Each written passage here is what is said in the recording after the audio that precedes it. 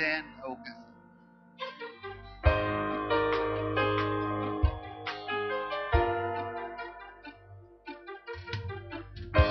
هو إله أزلي هو إله أبدي. فميراثي وميراثك الأبدية في حياتك.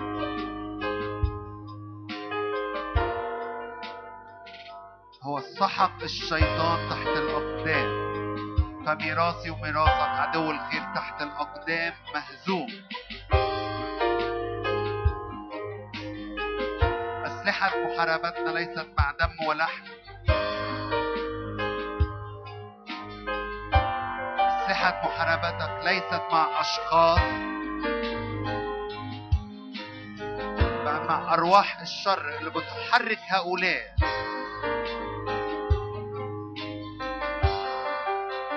كمان مرة ارفع إيدك معايا لو تحب وأعلن كده. ليا انتصار. ليا غلبة. منتصر فيك غالب بيك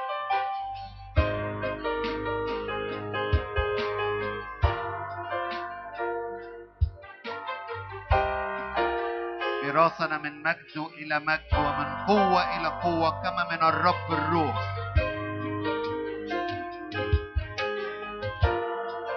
من مجد إلى مجد ومن قوة إلى قوة كما من الرب الروح.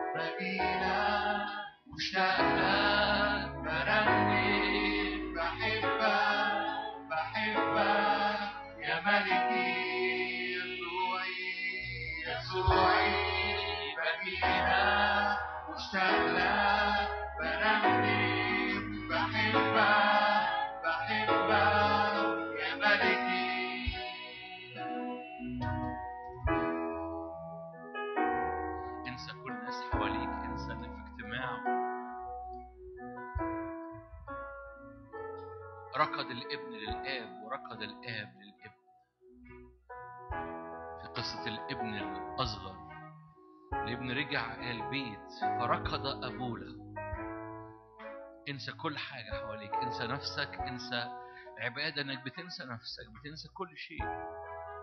ولا ترى إلى الآب وحده لا ترى إلى الآب المنتظر أن يعطي حضنه يعطي محبته يعطي خاتمه يعطي ثيابه يعطي نعمته يعطي قوته. ده اللي إحنا بنقف قدامه أمام الآب السماوي.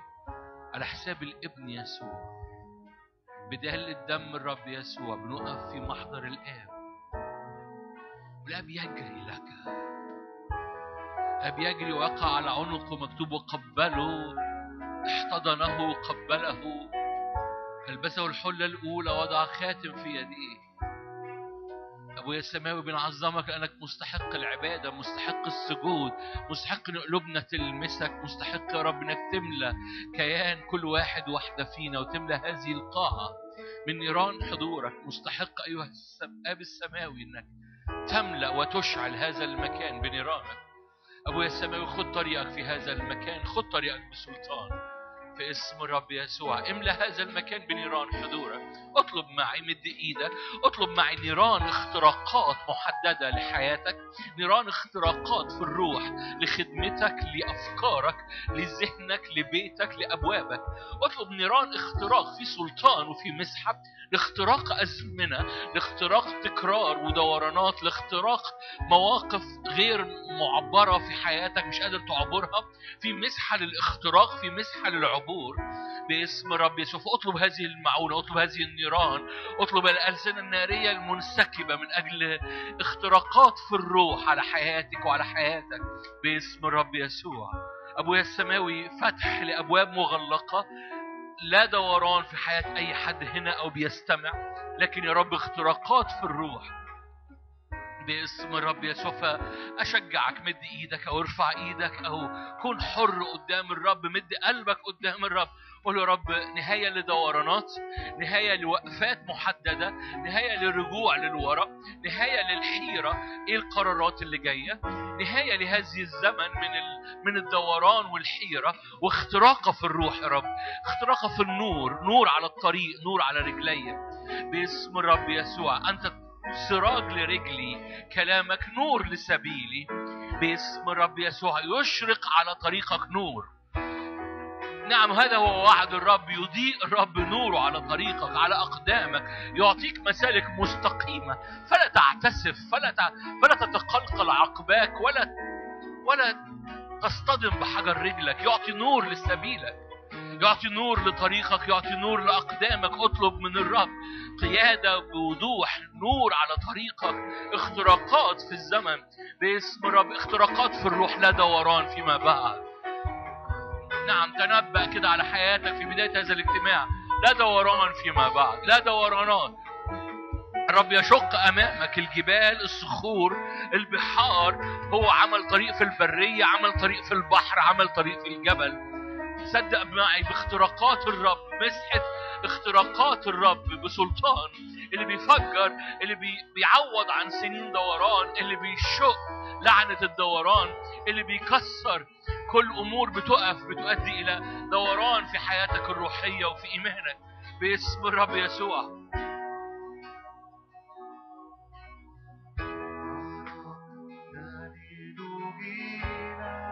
نعم كلمة الرب. يقف على الأسوار يطلب الرحمة يوقف القضاء. سماء تلمس أرضك تخترق. أراك تشعل النار روحك يكسو العظام لا عافر.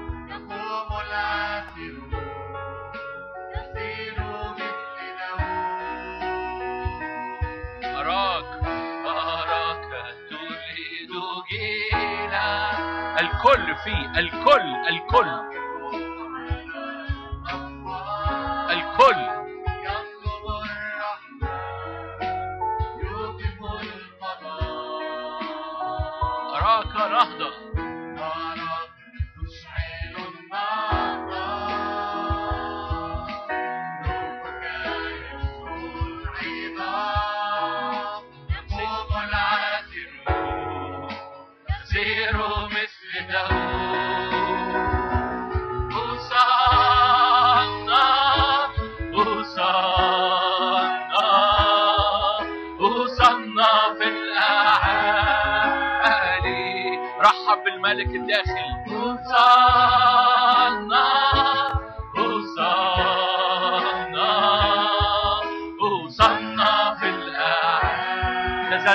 أورشليم هم بيقولوا أوصلنا.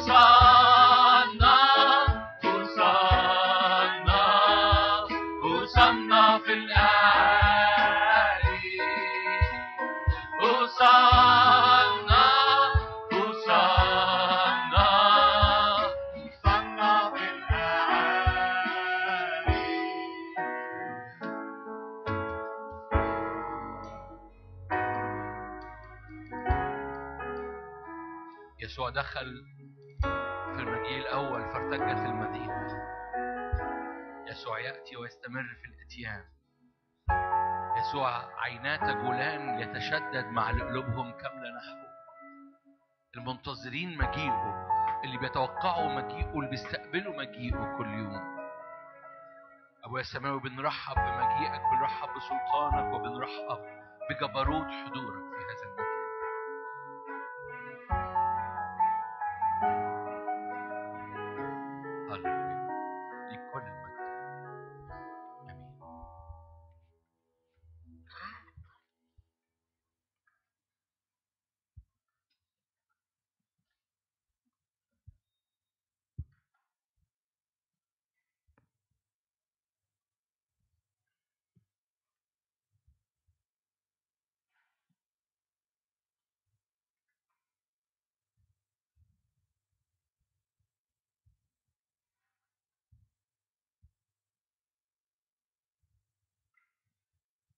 رب صالح جدا.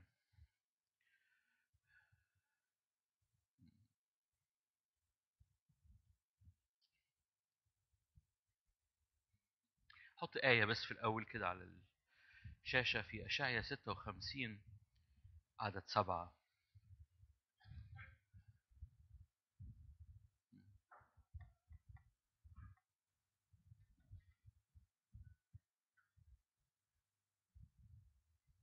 كتير بنتصور إنه أي حاجة بتعملها أو بنعملها معا قدام محضر الرب إحنا بنعملها في في عالم ال...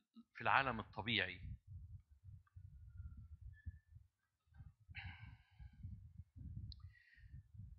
ولو أنت كل إدراكك بالعالم الطبيعي اختباراتك بتبقى طبيعية. لكن في حاجة بتحصل لما نفسيتك وذهنك أنا بقصد الحروف والكلمات لما نفسيتك وذهنك تقول أنا داخل أصلي أو نفسيتك وذهنك تقول أنا رايح اجتماع أو نفسيتك وذهنك تقول شوف بقول نفسيتك وذهنك. يقولوا أنا عايز أقضي وقت قدام ربنا. في حاجة بتحصل. القنوات لأنه ده مش قرارك مهم اختيارك مهم. فلما نفسك وذهنك بيقولوا أنا داخل اجتماع أو أنا هقعد مع ربنا أو أنا هصلي الساعة اللي جاية أو الوقت اللي جاي أو أنا هعبد الرب في طاقة بتتفتح في داخلك وفي طاقة بتتفتح أو معروضة ليك فوق طبيعية. مش على المستوى الطبيعي. بس قبل ما نخش على المستوى اللي مش طبيعي أو المستوى الروحي كتير إحنا بنقول أنا داخل أصلي أو أنا هعبد الرب أو أنا بحضر اجتماع أو أنا برنم ترنيمة أو أنا بعزف في الاجتماع وأعمل كل ده برغم إني واخد القرار إني بقدم ده للرب أعمله على المستوى الطبيعي. ولما بعمله على المستوى الطبيعي اختباراتي في المقابل بتبقى طبيعية. بعمل بيرفورم يعني ب... ب... بعمل حاجة. لما نفسك وذهنك بياخدوا قرار أنا هعبد الرب أنت فتحت الفوق طبيعي المعجزي الروحي اللي بره المحسوس واللي بره محدودية الجسد بتاعتك. وفتحت نفسك لمجال من الروح ملوش دعوة ب بالطاقة اللي خارجة منك بس ليه دعوة بإن كل حاجة خارجة منك ليها مضاعفات قوية. هقول هقول هشرح لكم ليه بقول كده. خليني أقرأ لك الآيات الأول. الآيات الحلوة في عدد سبعة وهقول لك دول معطاة لمين حالا. في اشعيا 56 عدد سبعة آتي بهم إلى جبل قدسي. آتي بهم إلى جبل قدسي. أفرحهم في بيت صلاتي. محرقاتهم وذبائحهم مقبولة على مذبحي. آتي بهم إلى جبل قدسي. أفرحهم في بيت صلاتي. محرقاتهم وذبائحهم صلواتهم يعني وتسبيحاتهم مقبولة على مذبحي. لأن بيتي بيت صلاة يدعى لكل الشعوب.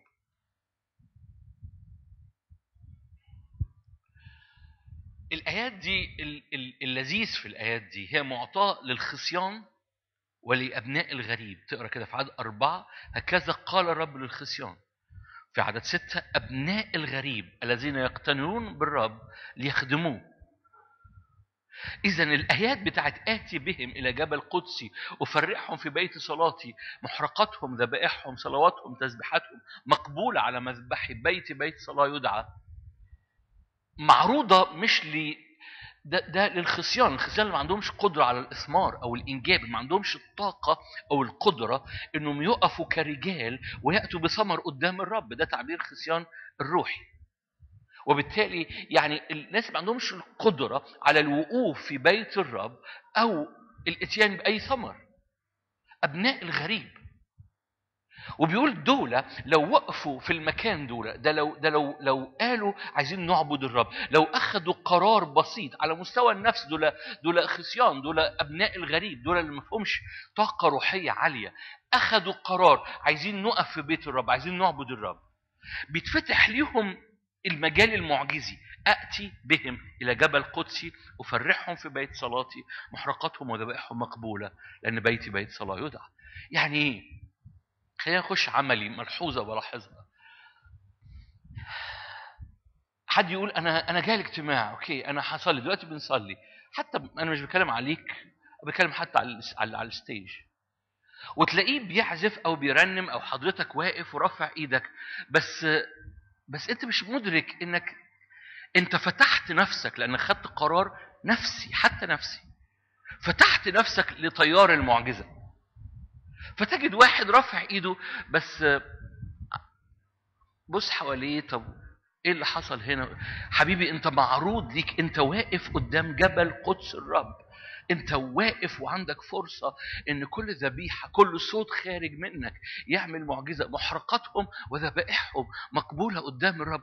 انت واقف في حتة على مستوى شخصي مش بتكلم عشان خاطر الاجتماع بتكلم عشان اوضتك يعني مش مش مش ب... مش مش بعظم الاجتماع بصورة خاصة أو الليلة دي بصورة خاصة. ده لو انت في اوضتك ورفعت إيدك للرب وخدت قرار على مستوى الذهن أنا هعبد الرب الدقيقة اللي جاية. أنت فتحت نفسك للآية بتاعت سبعة دي. اتي بهم إلى جبل قدسي أفرحهم في بيت صلاتي. محرقاتهم ذبائحهم مقبولة على مذبحي. أنت فتحت نفسك لأن الخصي أو الغريب فجأة بيتنقل إلى ابن إلى إلى معجزة إلى سكيب إلى إمكانية معجزية. فكل حاجة بتخرج منك في اللحظات دي اللي أنت خدت فيها القرار إنك قدام الرب بتعمل أمواج بتعمل بتعمل نتائج معجزية تفوق الطبيعي أو المحدود أو ال- ال- ال- الصغير ال- اللي على القد. خليني أزود بقى كمان. ولو أنت خدت قرار تصلي وسمحت لنفسك إنك تسرح ما ما, ما تخشش لروح ال ال الإدانة. أوكي. ما مش مش القصد من الكلام ده إدانة خالص. شتت نفسك بنفسك. كلنا بنسرح لما نصلي فما فيش إدانة. أوكي. لكن ترجع نفسك بتقوم مستأثرين كل فكر طاعه المسيح. لكن شتت نفسك اخترت إنك ما تركزش. أنت اخترت. مش ذهنك سرسب منك وقمت مرجعه وقفت قدام الرب مرة تاني. ده ده مفيش مشكلة في كده. كلنا بنحتاج إن إحنا نجيب جسد والنفس ونوقفه معانا قدام الرب. لكن لو أنت اخترت انك إنك أهو أنا ده المعتاد ده روح التدين ده التعود. لو أنت اخترت إنك تعمل كده الأمواج اللي بتخرج منك لأنك في محضر الرب. أو التأثيرات المزعجة أو الأحمال اللي بتنسكب أو ال أو ال عدم الان عدم الراحة بل الإنزعاج اللي بتخرج منه من الوقفة دي بيبقى أكتر. لأنك فتحت نفسك قدام الرب وسمحت إن الدنيا تبقى أي حد معدي أنت بذهنك أو بارادتك بتشتت نفسك بنفسك. في حتة مهمة قوي إنك تدركها إنه أنا جيت قدام الرب أنا بسبح دلوقتي فده مش وقت أبص في حاجة تانية أشتت نفسي بنفسي بيها. ليه؟ لأن ده وقت أنا بديه للرب. وقت المعجزة بتنسكب عليا. لو شفت الجايزة هتستخسر أو هتسترخص اهتمامك بحاجة تاني. لو أدركت اللي بيتعرض للخصي وابن الغريب وهو واقف قدام الرب هتسترخص أي حاجة تانية هتبيعها رخيص مش مهم.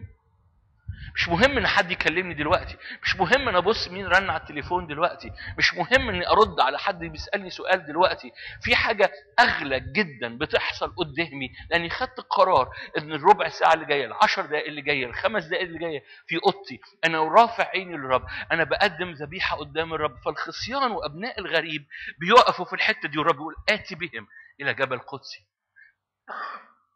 أفرحهم محرقاتهم وذبائحهم مقبولة. في حاجة معجزية بتحصل. لما بتاخد أنت القرار والاختيار إنك تقف أو إنك تقدم لحظات قدام الرب بتدوس على زرار لإمكانية معجزية. لو آه لو آه لو إحنا أدركنا اللي بيتعرض لينا كل مرة نختار إن إحنا نقعد قدامه. الرب بيستغل اختيارك جدا اختيارك غالي جدا عنده. بيبقى بيستناه بيبقى منتظره بيبقى عايز يقعد معاك بيبقى عايز يفتح السماء ويسكبها على حياتك. وأول ما أنت تختار كده هو جاد جدا. الناحية التانية جادة جدا. بس إحنا في بعض الأحيان بناخد القرار وإحنا مش مدركين إن الناحية التانية جادة جدا. السماويات جادة جدا. وأنا بطريقة كده اعتيادية. قلت هصلي بس مفيش مشكلة إن وأنا بصلي أتشتت. أنا بشتت نفسي بنفسي. لو شفت الحاجة الغالية هتسترخص التشتيت جدا. هتركز جدا لأن المعجزة المسكوبة بتلغي بتلغي قيمة أي حاجة تانية هتشتتك. جاء الوقت إنك تدرك إن في حاجة حقيقية بتحصل في السماء. كل مرة تاخد قرار إنك تصلي. تعالوا نفتح مع بعض رسالة كورنثوس. قبل ما نفتح كورنثوس أنا آسف. تكوين.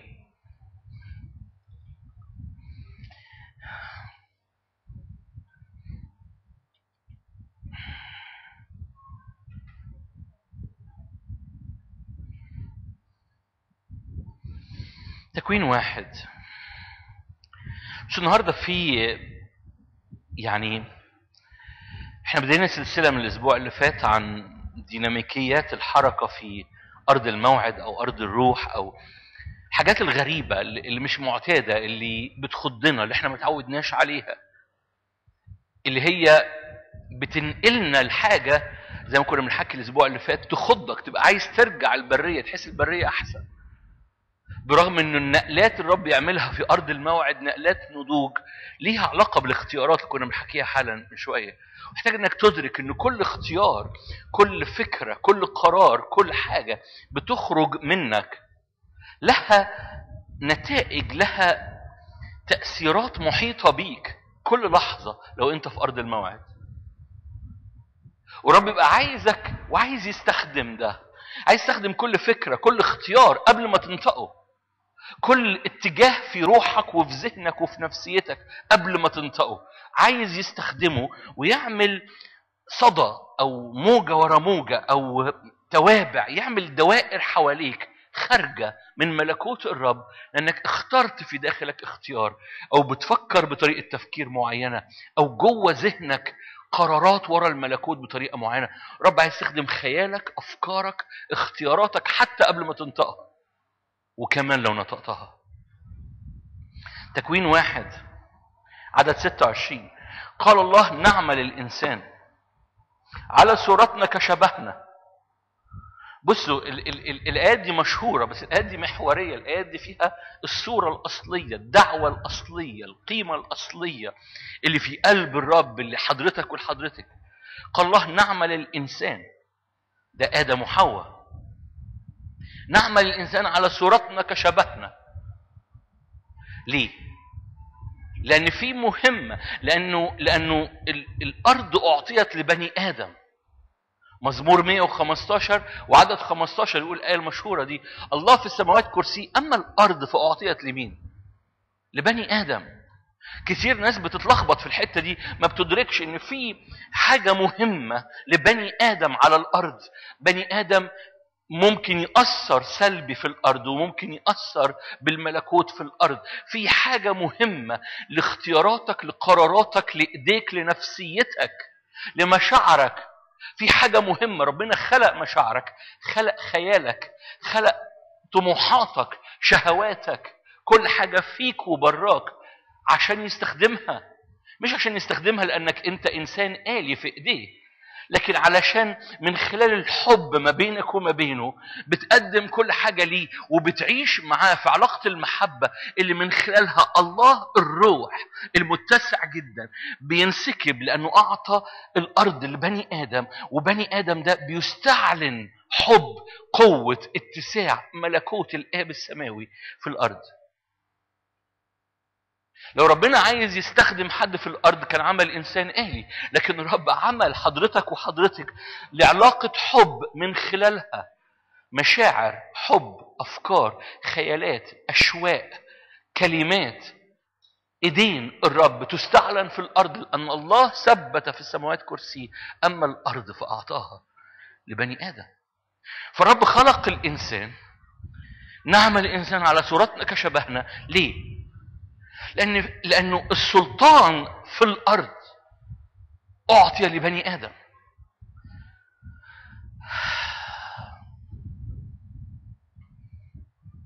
فيتسلطون على كل حاجة وعلى كمل الآية وعلى كل الأرض.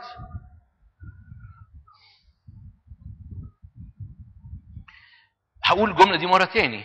السلطان في الأرض أعطي لبني آدم.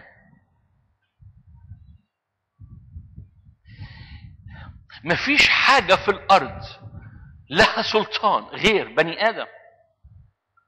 الكائن الوحيد الموجود في الأرض له سلطان هو بني آدم.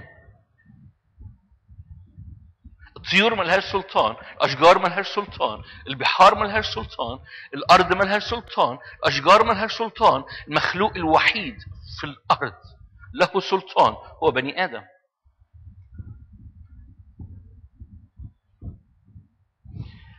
تكوين اتنين صح صح معايا النهارده اسمع كما لم تسمع من قبل.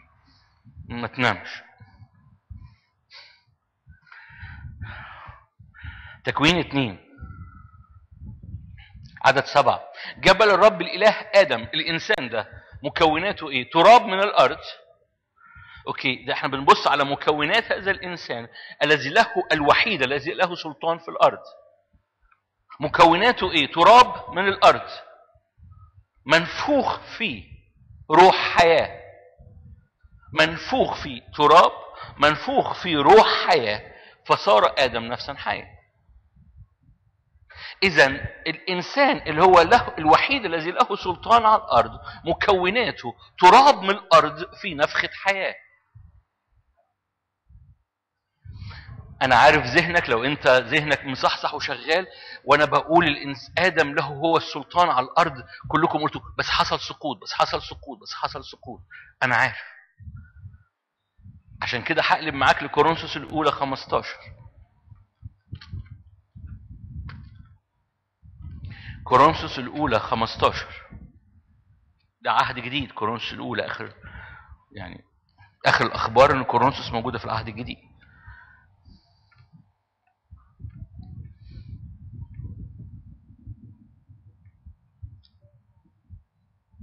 عدد 21 كورنثوس الاولى 15 21 فإنه إذا الموت بإنسان سقوط. ما هو الإنسان أعطي سلطان على الأرض. مكونات الإنسان تراب منفوخ في نفخة حياة. بسبب السقوط حصل موت بإنسان. عدد 21 اذ الموت بإنسان بإنسان أيضا إيه؟ قيامة الأموات. كما في آدم يموت الجميع هكذا في المسيح هيحصل إيه؟ يحيى الجميع. أوكي. في نفس الإصحاح هنقرأ آية مشهورة قوي بنقولها كتير. 45 هكذا مكتوب أيضا صار آدم الإنسان الأول نفسا حية ده اللي إحنا قريناه. تراب نفخ في نفخة حياة فصار آدم نفسا حية. آدم الإنسان الأول نفسا حية. آدم الأخير. إيه؟ آدم الأخير روحا محيا بص الإنسان الأول كان له سلطان الوحيد اللي له سلطان. بس آدم الأول كان نفس حية سقط.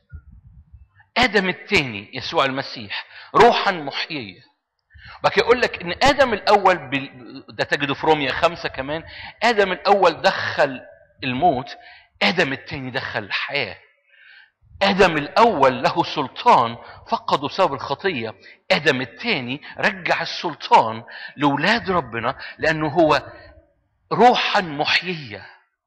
فتح ليهم إمكانية الصورة الأصلية من جديد إن كل السلطان في الأرض بقى موجود فيهم لأن هم تراب موجود فيهم مش بس روح الرب النفس الروح الطبيعية لا ده موجود فيهم الروح القدس. فالنتيجة إن بيطلع إنسان مش طبيعي أو خليقة جديدة إنسان له سلطان على الأرض كل حاجة فيه مش ملكه. لأنه ده تراب بس موجود جواه آدم الأخير اللي هو روحا محيية.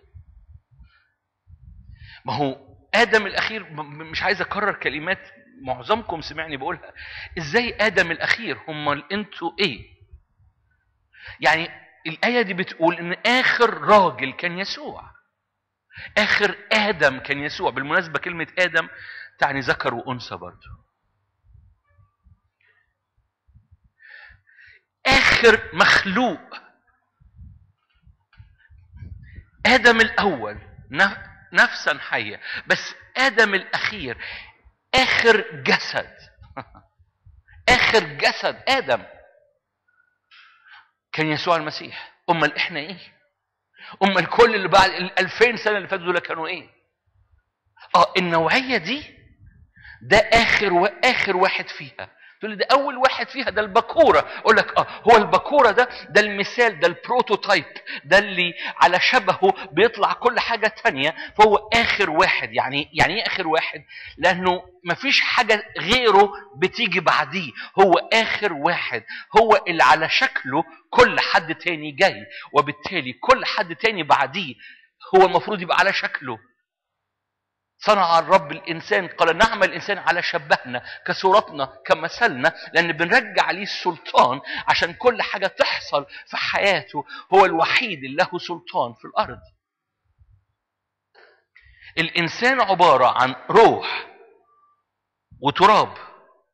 آدم الأول كان نفس حية بس آدم الثاني يسوع المسيح روح محييه بصوا أنا أنا أنا بحط أساسيات عشان أوصل معاك لحاجة إن في تعبيرات في الكتاب المقدس إنك القشرة دي قشرة ملك للرب بس القشرة دي موجودة عشان تعمل إطار لحضور إلهي.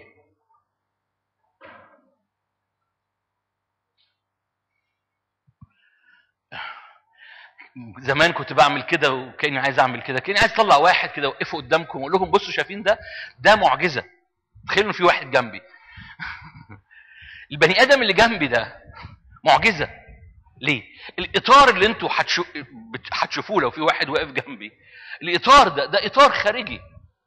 بس إطار خارجي لحضور إلهي.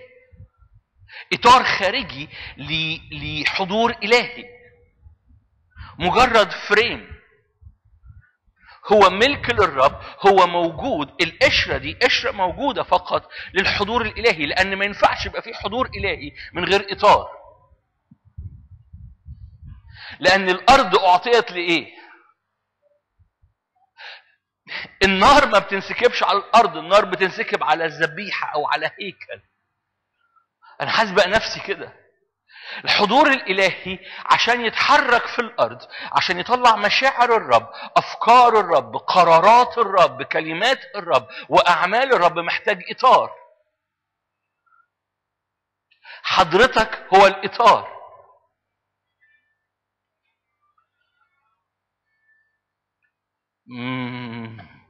مش عارف أنتوا فاهمين ولا مش فاهمين. على فكرة أنا بقول ده اللي أنا بقوله ده آيات بسيطة. أنتم هيكل الله روح الله ساكن فيكم.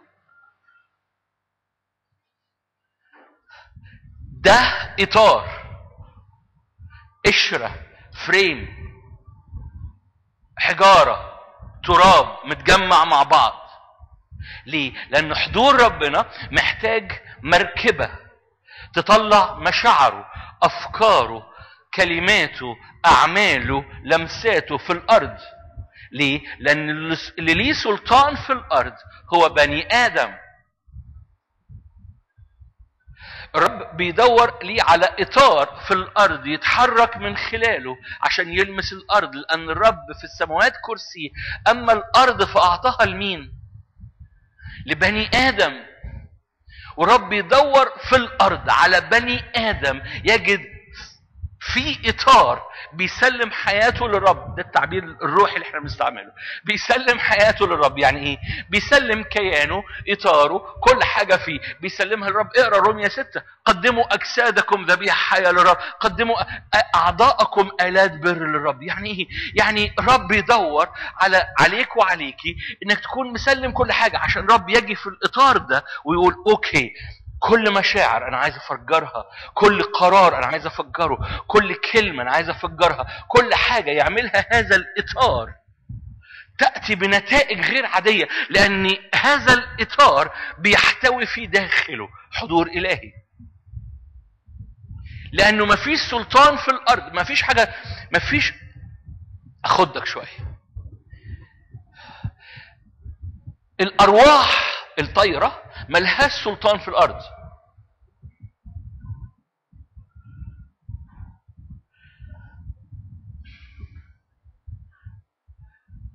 الأرواح الطايرة بتدور على إطار تسكن فيه عشان تطلع اللي هي عايزة تطلعه.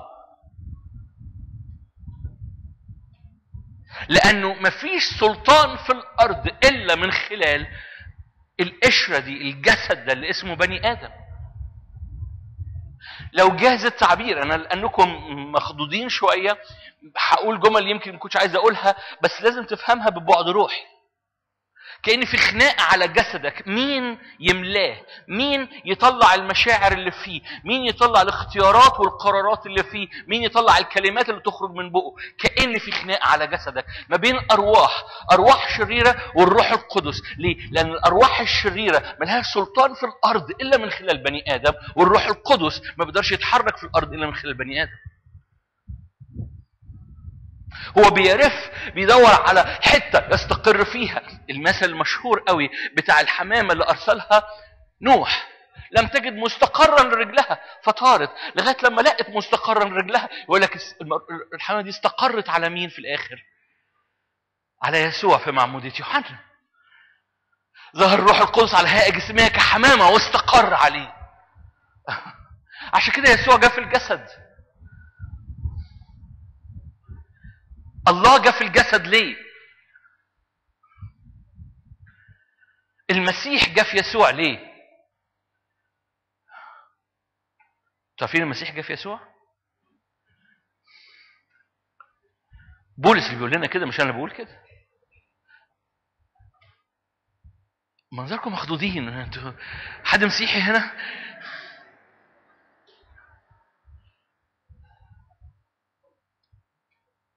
ولد لنا ولد وأعطينا ابن. الولد اتولد والابن أعطي. يسوع المسيح. يسوع هو الولد والمسيح هو الابن. المسيح هو اسم الله. يسوع هو القشرة اللي جاء فيها المسيح. يسوع المسيح. الملاك سمى يسوع ما سماش المسيح.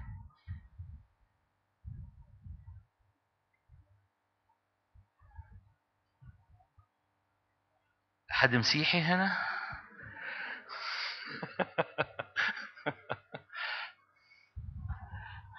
الملاك أعطى العذراء مريم اسم الإطار. قال لها سيدعى يسوع. لكن إعلان ده يسوع المسيح. ولد ولد لكن أعطينا ابنا. اقرأ بولس أي حد فاهم بولس هيفهم لأنه في بعض الأحيان يستعمل يسوع في بعض الأحيان يستعمل المسيح في بعض الأحيان يستعمل يسوع المسيح مش اعتباطا إن كل كلمة في الروح لها تأثيرات. لما نتكلم عن يسوع بيتكلم على الإطار على الجسد بتاع يسوع المسيح. خلي بالك إنه عشان كده الكنيسة ال ال ال ال الأساسية بتقول إنه لم يفارق يسوع المسيح ده, ده في كل لحظة ولا طرفة عين زي ما بيتقال. فعلا ما حصلش فراق ما بين يسوع والمسيح طول الوقت لأنه إيه؟ القصة كلها ابن الله ابن الإنسان طول الوقت على الصليب في القيامة في كل حاجة. هو يسوع المسيح كل لحظة. بس في أوقات التركيز اللي بولس بيشاور عليه هو على الإطار الجسد بتاع يسوع. في أوقات بيركز على المسيح والمسحه الابن اللي جاي من السماء وفي أوقات يقول لك يسوع المسيح. الروح اللي بيضاد يسوع المسيح اسمه ضد المسيح مش ضد يسوع.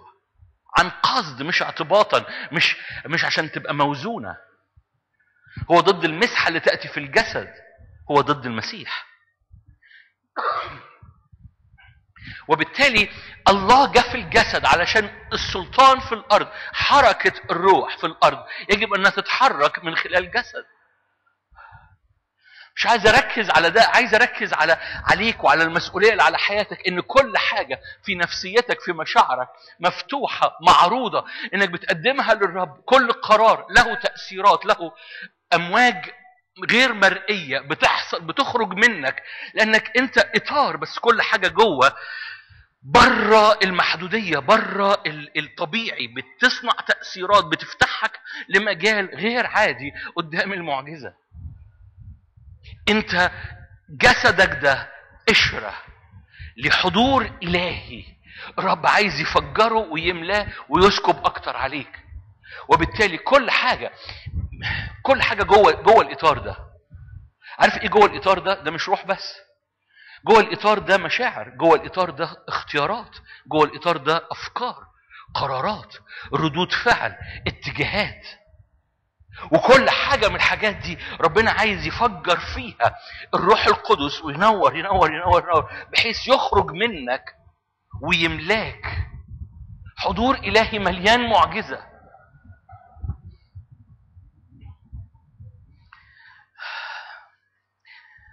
هسبق نفسي وأقول جمل بك هقرأ لكم هقرأ لكم آيات كل أنا عمال بقوله دلوقتي ده حالا.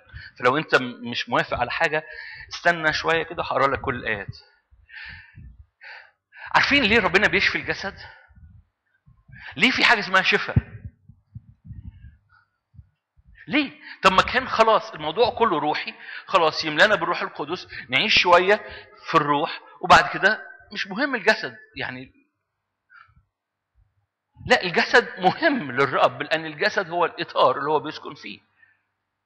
وربنا عايز يعطيك صحة وأيام بخير عشان يستخدم الإطار لأن الإطار هو المكان اللي من خلاله حركة الروح القدس مشاعر ربنا بتنفجر في الأرض. انت غالي على قلب الرب انت مش انسان آلي حط فيه برنامج وبيمشيه بيستخدمه. انت من خلال الحب اللي موجود في علاقتك مع الرب هذا التراب هذه القشرة مهمة إنها بتحتوي حضور إلهي قال أنا أنا بدي السلطان. خلقهم على صورته كشبهه كمثاله آدم الثاني خلقنا على صورته كشبهه كمثاله عشان من خلال الحب ده مع الله الآب الوحيدين لهم سلطان على الأرض. عشان كده إبليس آه، خل أقرأ لك آية طيب حاضر. متى؟ إنجيل متى؟ قصة كلكم عارفينها. هتصدقوني حالا. متى 11 متى 11 أنا آسف متى 12 عدد 22 الحتة دي مهمة محتاج تركز فيها. أحضر إليه مجنون أعمى وأخرس. لما تقرأ تقرأ القصة دي في إنجيل لوقا يقول لك أحضر إليه شيطان. لأن في القصة دي هو طرد الشيطان. ففي في لوقا هو قايل أحضر إليه شيطان. تقراها في لوقا 11 لو أنت مش مش مصدقني. أحضر إليه مجنون أعمى وأخرس فشفاه حتى أن الأعمى الأخرس تكلم وأبصر. حاسس إن البعض مش مصدقني فعلا مش عارف ليه وصلني إحساس كده. افتحي لقا 11 من لقا 11 من فضلك. عدد 14 ده المقابل للقصة يعني ده ال... كان يخرج شيطانا وكان ذلك أخرس. فلوقا لما بيقدم هذا الشخص بيقدمه ك... كإخراج شيطان متى هو بيقدم هذا الشخص بيقدمه كشفاء. باقي القصة بعد كده هو هو موجود في الحتتين بس أنا حابب عن قصد بشاور لك على الحتة دي. معلش نرجع لمتى؟ معلش نرجع لمتى؟ بهت كل الجموع عدد 23 وقالوا ألعل هذا هو ابن داود. أما الفريسون لما سمعوا قال هذا لا يخرج الشياطين إلا ببعل زبول رئيس الشياطين. كلكم عارفين القصة دي. ويسوع قال لهم ما ينفعش الشيطان يخرج شيطان مملكة لو انقسمت على ذاتها تخرب ما ينفعش الكلام ده إن كنت أنا بعل زبول أخرج الشياطين فبأبنائكم من يخرجون. إن كنت أنا بروح الله أخرج الشياطين قد أقبل عليكم ملكوت الله. فهذا الشخص ال- ال- الأعمى الأخرس الإطار بتاعه مقفول كل الحواس مقفولة ولما تقرأ القصة دي وتستوعب القصة دي الراجل ده ما كانش بيسمع ما كانش بيشوف ما كانش بيتكلم مقفول. القشرة دي اللي جواها مقفول. يسوع قام معدي ومطلع اللي جوه نظف اللي جوه. مش يقول لك القوي لما بيخش بيت- بيتسلح لكن لو جه الاقوى منه بيخرجه من البيت وبينهب أمتعته. هتفهم حاجة؟ فالقشرة دي كانت مقفولة. ده ما بيسمعش ما بيشوفش ما بيتكلمش. أم يسوع دخل مخرج القوي لأن ده الأقوى مخرج القوي من- مجهز البيت. فالراجل ابتدى يرى ويتكلم. إن كنت أنا بروح الله أخرج الشياطين فقد أقبل عليكم ملكوت الله. كيف يستطيع أحد أن يدخل بيت القوي وينهب أمتعته؟ إن لم يربط القوي اولا. بعد كده اتكلم عن حاجة غريبة قوي اسمها التجديف على الروح. أقول لكم كل خطية عدد 31 وتجديف يغفر للناس. أما التجديف على الروح فلن يغفر للناس. بعد كده يقوم ناقل خلي بالك كل ده مربوط حالا هتفهمه يقوم ناقل للشجرة الجيدة والشجرة الردية. يجعلوا شجرة جيدة وثمرها جيد على 33 يجعلوا شجرة ردية وثمرها ردية. من الثمر تعرف الشجرة.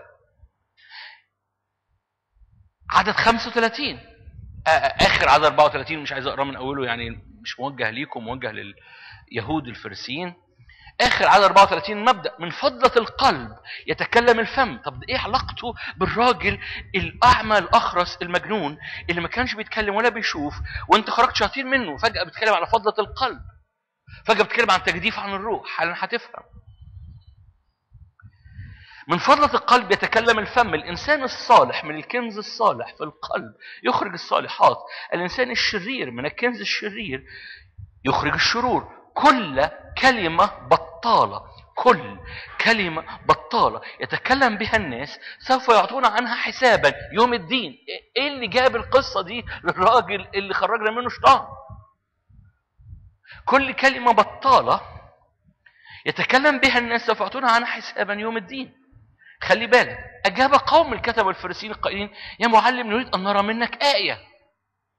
عايزين معجزة لسه ما خرج لهم مش لسه راجل جايبينه أعمى أخرس مجنون وشفاه. عايزين معجزة كل ده مربوط ببعض حالا. اللي هم مش هتعطى معجزة إلا آية يونان النبي.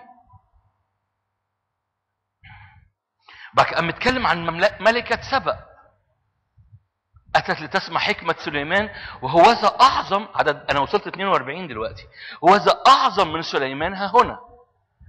وفجأة يقوم مرجعك للقصة الأصلية. إذا خرج الروح النجس. كل اللي فات ده مربوط بالقصة مربوط بهذا الإطار اللي كان مقفول بروح شرير يسوع دخل أم خرج القوي وأم فتح هذا الإطار للسكيب جواه. فتح هذا البيت انه يخش فيه الروح القدس.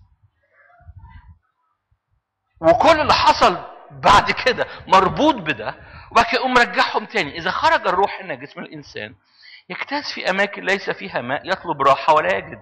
ثم يقول أرجع إلى إيه؟ ليه الروح بيجول وبيدور الروح الروح بيدور على بيت؟ خليني أقول لك جملة كده باخ أي روح بيدور على بيت. أي روح بيدور على بيت. أوكي. هوقف تعليم وأكلمك. روح الغضب بيدور على بيت. روح الخوف بيدور على بيت. روح الزنا بيدور على بيت. روح الغي روح النميمة بيدور على بيت.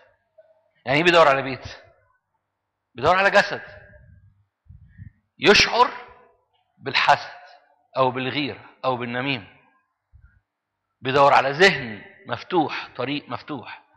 يفكر أفكار غلط. بيدور على قلب مفتوح يخاف.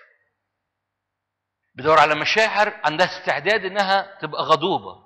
روح الغضب بيدور على جسد.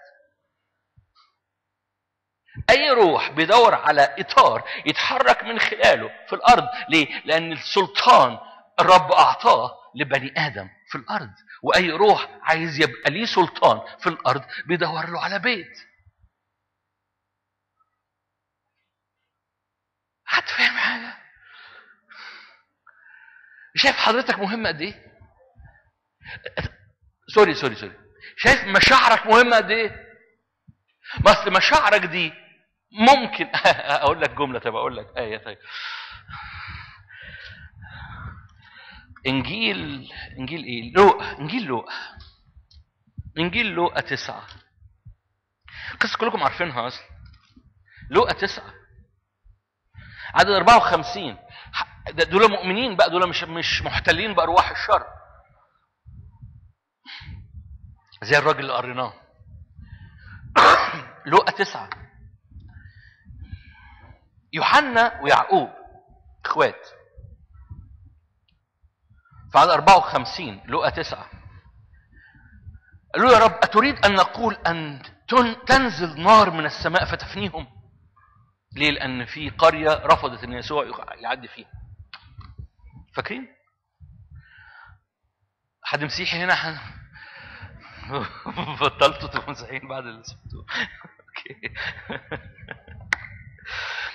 أرى لكم طب 52 أرسل أمام وجهه رسلا فذهبوا ودخلوا قرية للسامريين حتى يعدوا له. فلم يقبلوه لأن وجهه كان متجها نحو أورشليم.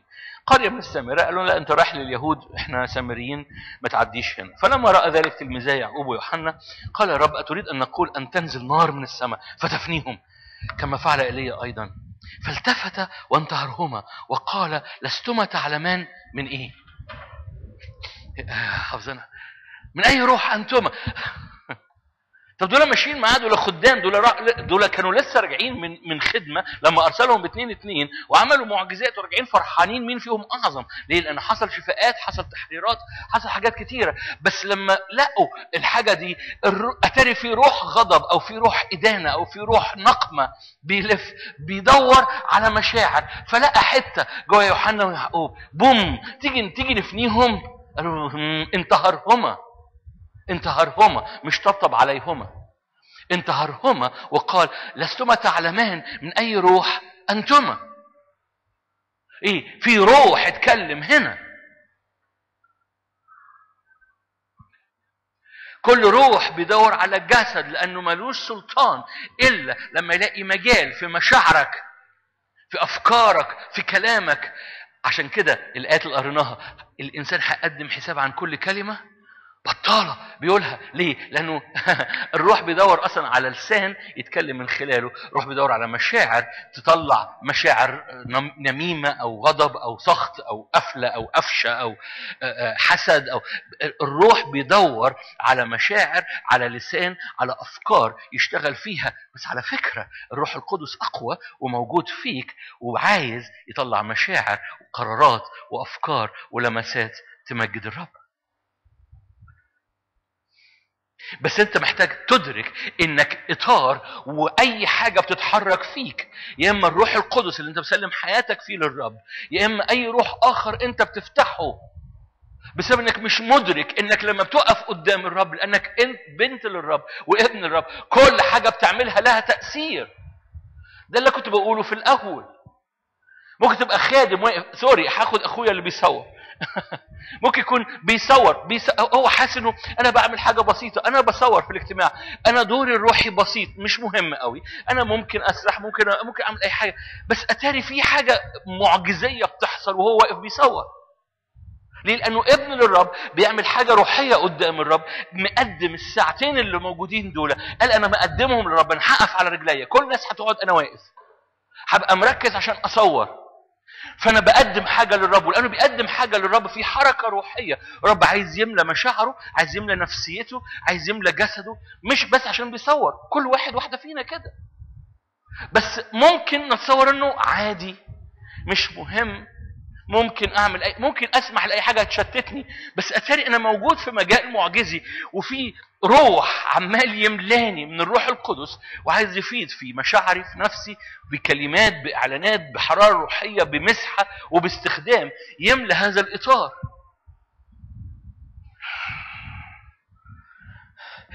قصة تانية كلكم عارفينها. طيب إنجيل متى 16 كلكم عارفين في متى 16 حصل موقفين لبطرس همشيهم بسرعة. أول قصة لما يسوع سأل من يقولون إني أنا؟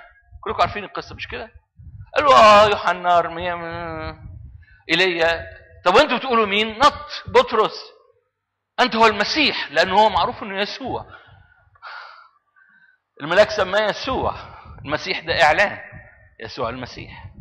أنت هو المسيح ابن الله الحي. قال له بص حبيبي اللي حصل ده معجزة أنت مش من هنا. عرفت كده؟ ده الاب السماوي أعلن ليك الروح القدس اتحرك عليك. في حاجة إعلانية حصل في الجسد بتاعك في الإطار بتاعك. فأنت نطقت إعلان روحي على هذا الإعلان على هذا هذه الصخرة. أنا بثبت الكنيسة على هذا الإعلان. ان المسحة جت في يسوع المسيح ومن خلالها المسحة تأتي في الجسد على شبهه كمثاله. ابن. ابن آدم الأخير بقى روح محيية لنسل له سلطان في الأرض. بعديها بلحظات ده في متى 16 القصة دي؟ أعطيك مفاتيح ملكوت السماوات عدد 19 كل ما تربطه على الأرض مربوط في السماوات كل ما تحلوا ليها معاني هنبص عليها بعد شوية من حتة تانية. من ذلك الوقت عدد 21 ابتدأ يسوع يظهر لتلاميذه. ينبغي أن يذهب إلى أورشليم وتألم كثيرا. أخونا اللي من دقايق أعلن إعلان على هذه الصخرة تبني تتبني الكنيسة على صخرة هذا الإعلان. أخذه بطرس إليه وابتدأ ينتهره. في القصة دي بطرس بينتهر يسوع. قائلا حاشا يا رب لا يكون لك هذا. فالتفت وقال لبطرس اذهب عني يا إيه؟ أقول الجملة مرة تاني اللي بتخض. كل روح بيدور على جسد ينطق منه يحس منه يلمس منه. الروح القدس بيدور على جسدك عشان يحس فيه ينطق فيه ياخد قرارات فيه ويلمس من خلاله. أرواح الشر بتحاول تعمل نفس القصة معاكي ومعاك. بس الروح القدس أقوى جدا. الروح القدس دخل في القوي اللي كان مقفول جدا ما ما مش زيك مش بيرى ولا بيسمع ولا ده ده كان مقفول ده لا يسمع ولا يرى أخرس ولا يتكلم وأم يسوع دخل قال الأقوى طرد القوي. بس خلي بالك إن البيت لازم يكون مدرك إن بعد ما ينضف البيت في روح برضه عايز يطلع كلمات زي ما طلع من بطرس زي ما طلع من يوحنا ويعقوب إنه تعالى تعالى نفنيهم أو حاشاك أن يكون هذا يا رب. فانتهروه قال اذهب عني يا شيطان. ليه؟ لأنه أنت أفكارك مشاعرك قلبك عينيك قراراتك لمستك مهمة جدا للرب ومهمة جدا للروح القدس. عشان كده بنقف قدام نقول له ملانا بإيه؟ ملانا بإيه؟ أشكرك ملانا بالروح مسيحيين طلعتوا ملانا بالروح القدس ليه؟ لأنه القصة لما الروح القدس بيملاك هو عايز مشاعرك نفسك قلبك أفكارك مش ملك نفسك أحيا لا أنا ليه؟ ده إطار بس اتار اللي جوه بيحيا فيه آدم الأخير اللي هو بيجد في الإطار ده سلطان على الأرض لأنه ما فيش سلطان على الأرض إلا من خلال القشرة دي. عشان كده ربنا بيشفي القشرة دي. لو أنت عيان قول له يا رب اشفيني علشان أنا القشرة بتاعتك. بأمانة عن خب عن عن أكتر من 25 سنة خدمة. ناس كتيرة خفت من خلال ال ال الإعلان البسيط ده ما بينهم وما بين الرب. يا رب أنا علشان أنا هيكل لمحضرك. اشفي الهيكل؟ ناس كتيرة خفت بسبب إن دي رشقت جواهم.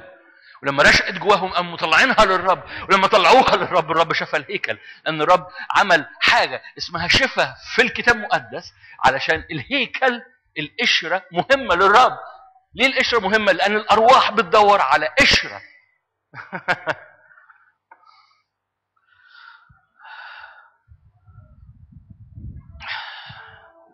اخدك كأني لسه ما خضتكش.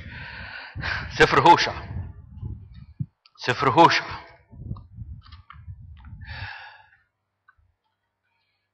هوشع النبي إصحاح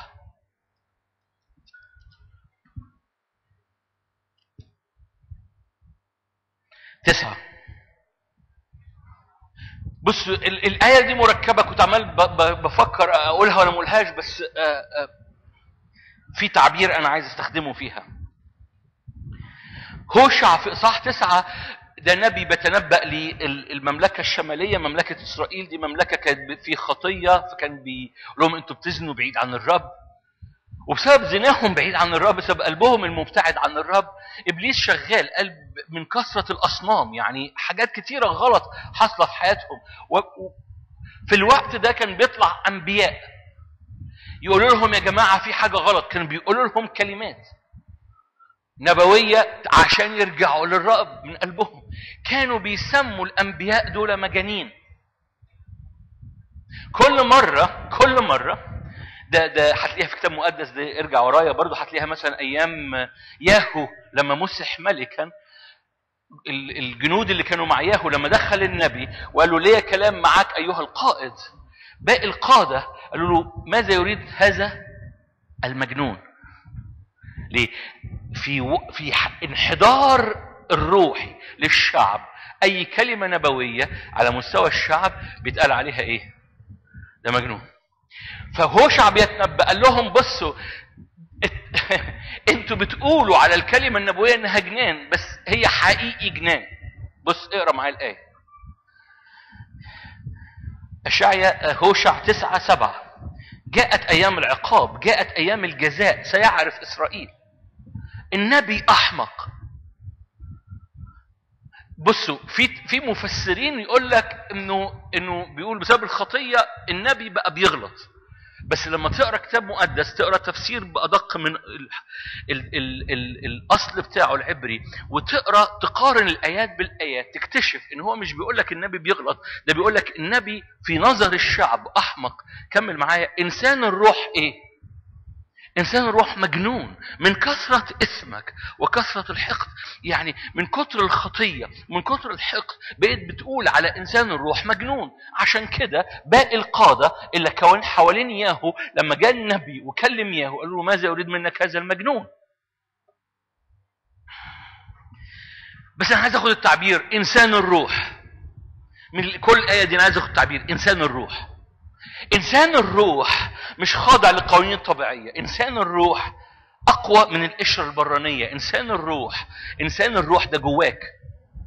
يقول عليه أفسس الإنسان الباطني. يقول عليه الرسول بطرس في رسالة بطرس إنسان القلب الداخلي. بس أنا باخد الآية من هوشع عشان فيها تعبير حلو. إنسان الروح. إنسان الروح جواك مش خاضع للقوانين الطبيعية هو ساكن في قشرة لكن هو هو بره الطبيعي. ده اللي يسوع قاله في جسماني لما لهم اسهروا معايا ما قدروش يسهروا ناموا كلهم. لهم بصوا يا جماعة إنسان الروح نشيط. أما إنسان الجسد ضعيف. هو ما قالش إنسان قال الروح نشيط والجسد ضعيف. إنسان الروح أقوى. إنسان الروح أنشط. إنسان الروح مش محدود بالقوى الطبيعية مش خاضع لعوامل التعرية مش خاضع للمؤثرات الخارجية. إنسان الروح مجنون. بره الطبيعي بره المحدودية. ما, بي ما, فيش المحدودية دي. كاسر المحدودية. إنسان الروح. أفسس يقول كده في بولس يقول كده. إنسان القلب الداخلي. إنسان الباطن. يقول عليه في حتة تانية. الكنز اللي موجود في قشرة خزفية. القصة كلها إنه إنك أنت وأنا بتدرك بتستوعب بقى إيه ده وإيه اللي جوه ده.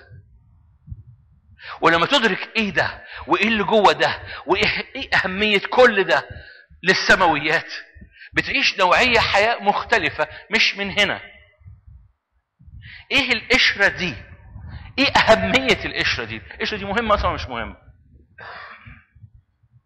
القشرة دي مهمة ولا مش مهمة؟ واللي جواها إيه؟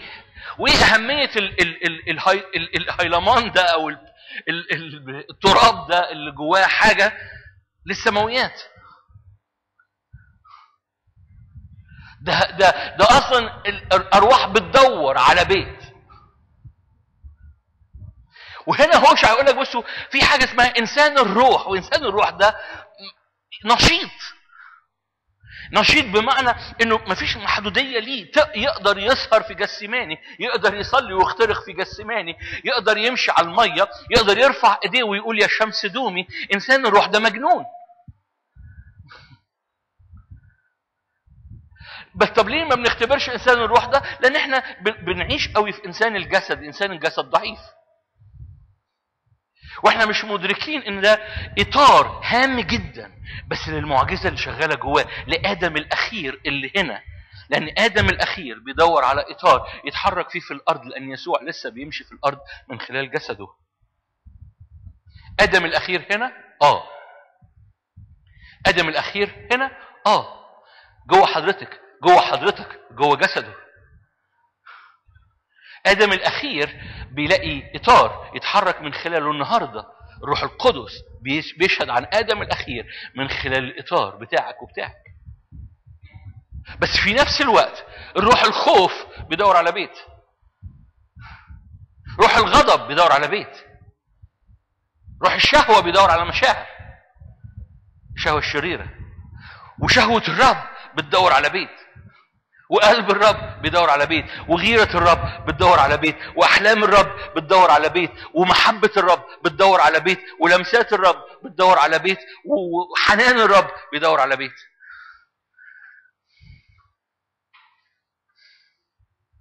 عشان كده أقرأ لك آيات تجد بقى ليها معنى دلوقتي في كورنثوس الأولى.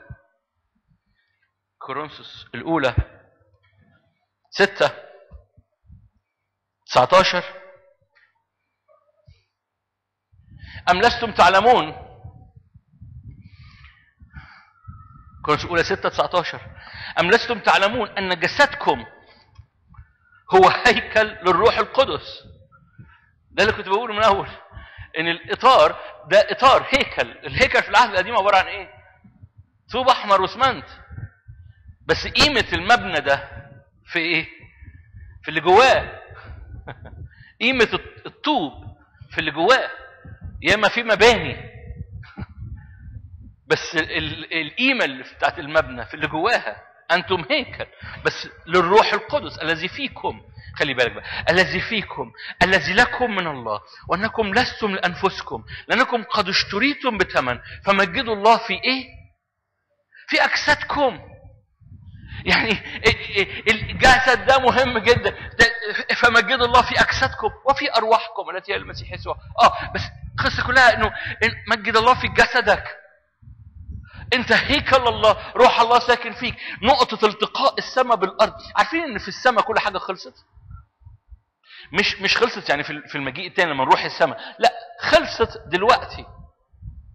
مش خلصت دلوقتي هي خلصت من 2000 سنة. مش خلصت من 2000 سنة هي خلصت من الأزل أصلا. إن يسوع قدم نفسه بروح أزلي من قبل تأسيس العالم معروف الفدا. مش فجأة حصل من 2000 سنة. ده ده الإطار الزمني الموجود تحت الزمن. لكن الإطار الروحي اللي بره الزمن الفدا محسوم من قبل تأسيس العالم. فكل حاجة في السماوات خلصت مش لما نروح السماء خلصت من دلوقتي. طب إيه اللي يجيبها من السماء لهنا؟ نقطة التقاء العمل الخلصان بتاع السماء على الأرض هو الهيكل.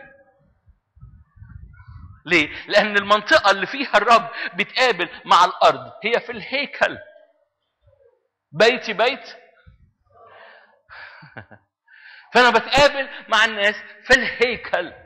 أنا بنزلش نار على الأرض بنزل نار على المذبح الموجود في الهيكل. مين الهيكل؟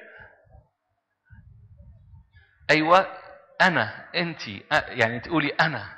أنت تقول أنا. إذا نقطة التقاء السماء بالأرض هي جسدك. هي. لو أنا قاعد أقول هي. نقطة الت... نقطة التقاء السماء بالأرض هي جسدك. جسدك اللي إيه؟ اللي الروح القدس لقى بيت فيه. أنتم هيكل الله روح الله ساكن فيكم فمجدوا الله في إيه؟ في أجسادكم. نقطة الالتقاء ما بين العمل الخلصان في السماء والأرض هي الهيكل هي القشرة بتاعتك هي التراب ده اللي اللي من خلاله ربنا عايز يسكب مشاعر. افكار لمسات يملاه لأن الروح القدس بيدور على بيت يتحرك من خلاله يطلع مشاعر. افكار آآ آآ محبة لمسات قوة كل حاجة بيدور على هيكل يتحرك من خلاله. جاء في يسوع قشرة وبيأتي في الجسد بتاعه. إحنا حضرتك حضرتك عشان يتحرك من خلاله ويعلن مجد الرب بسبب بسبب محبة الرب. نقطة التقاء السماء بالأرض هي الهيكل. فمجدوا الله في أجسادكم. لأنكم قد اشتريتم بثمن مجدوا الله في أجسادكم وفي أرواحكم التي هي الله عدد 17 برجع لورا. من التصق بالرب. هو إيه؟ إيه. يعني كل عليا إني أجيب القشرة دي وأعمل بيها إيه؟ ألزقها في الرب. من التصق بالرب هو روح واحد. إيه؟ أتى الرب عايز يملى القشرة دي بروحه ويبقى روح واحد. فمشاعري بقت مشاعره شهواتي بقت شهواته غيرتي بقت غيرته. مشا... رد فعلي هو رد فعله. محبتي هي محبته لمستي هي لمسته. كلامي هي كلامه. هو ده اللي هو قصده أصلا. بس ما بنعرفش نعيشه لأن ما بندركش. إحنا مين؟ القشرة دي إيه دورها؟ واللي جواها إيه دوره؟ وهو بيعمل إيه فيها؟ لما بنقف قدامه في الحتة دي بنتغير بنتغير بنتغير إلى تلك الصورة. عينها من مجد المجد كما للرب الروح. لأن الروح بيدور على البيت اللي يقوم مطلع فيه كل حاجة. تخيل معايا إن أفكارك بقت أفكاره. تقول ده حلم غريب. أقول لك ده مش حلم غريب دي كلمة الرب. نحن لنا فكر المسيح. اذا اذا طالما هي مكتوبة يبقى هي حاجة بتحصل. تقول لي معقولة أفكاري تبقى أفكاره؟ يا ده يوم السعد. أقول لك كتابي حاجة كتابية مش مش بخترعها. أقول لك تصور بقى إن مشاعرك تبقى مشاعره. ده كتابي برضو؟ آه ده كتابي. صارت لنا أحشاء المسيح.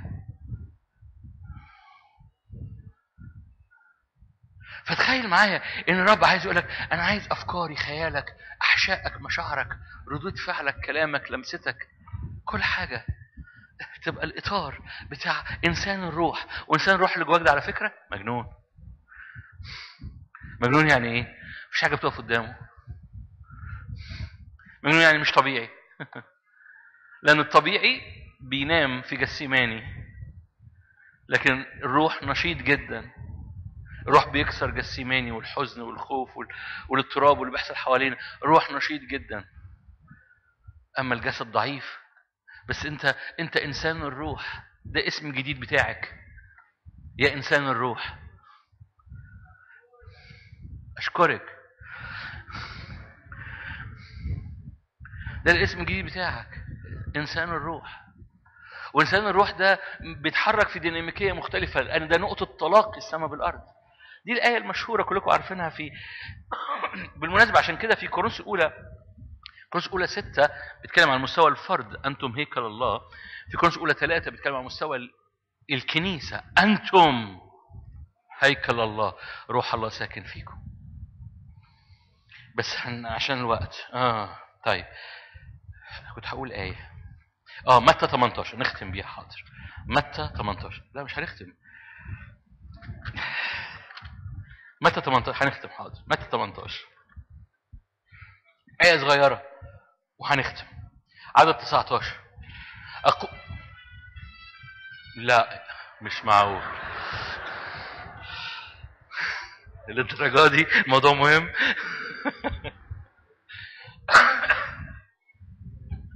متى 18 عدد 19 أقول لكم أيضا إن اتفق اثنان منكم على الأرض. في أي شيء يطلبانه خلي بالك الاثنين دول فين؟ نشكر ربنا على الأرض. في أي شيء يطلبانه يكون لهما من قبل أبي اللي موجود فين؟ حلو قوي لا ليه؟ لأنه نقطة طلاق السماء بالأرض هي في الهيكل والإثنين دول هيكل. أنتم هيكل الله روح الله ساكن فيكم. نقطة طلاق السماء بالأرض هي الهيكل وأنت هيكل. وإحنا مع بعض هيكل. لله روح الله ساكن في كنيسته.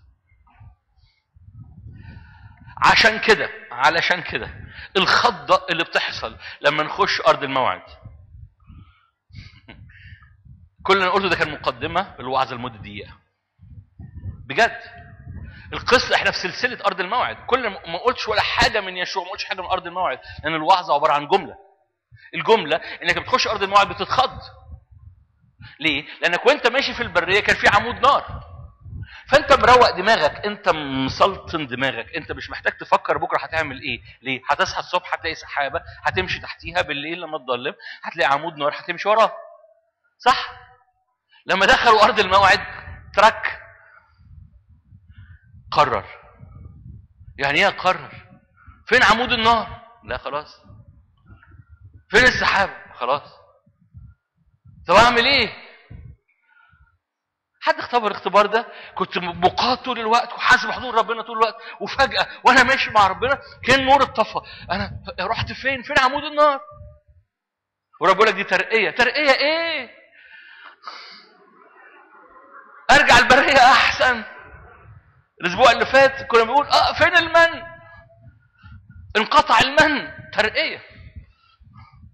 النهارده بقول لك فين عمود النار؟ انقطع عمود النار. مفيش عمود النار خلاص.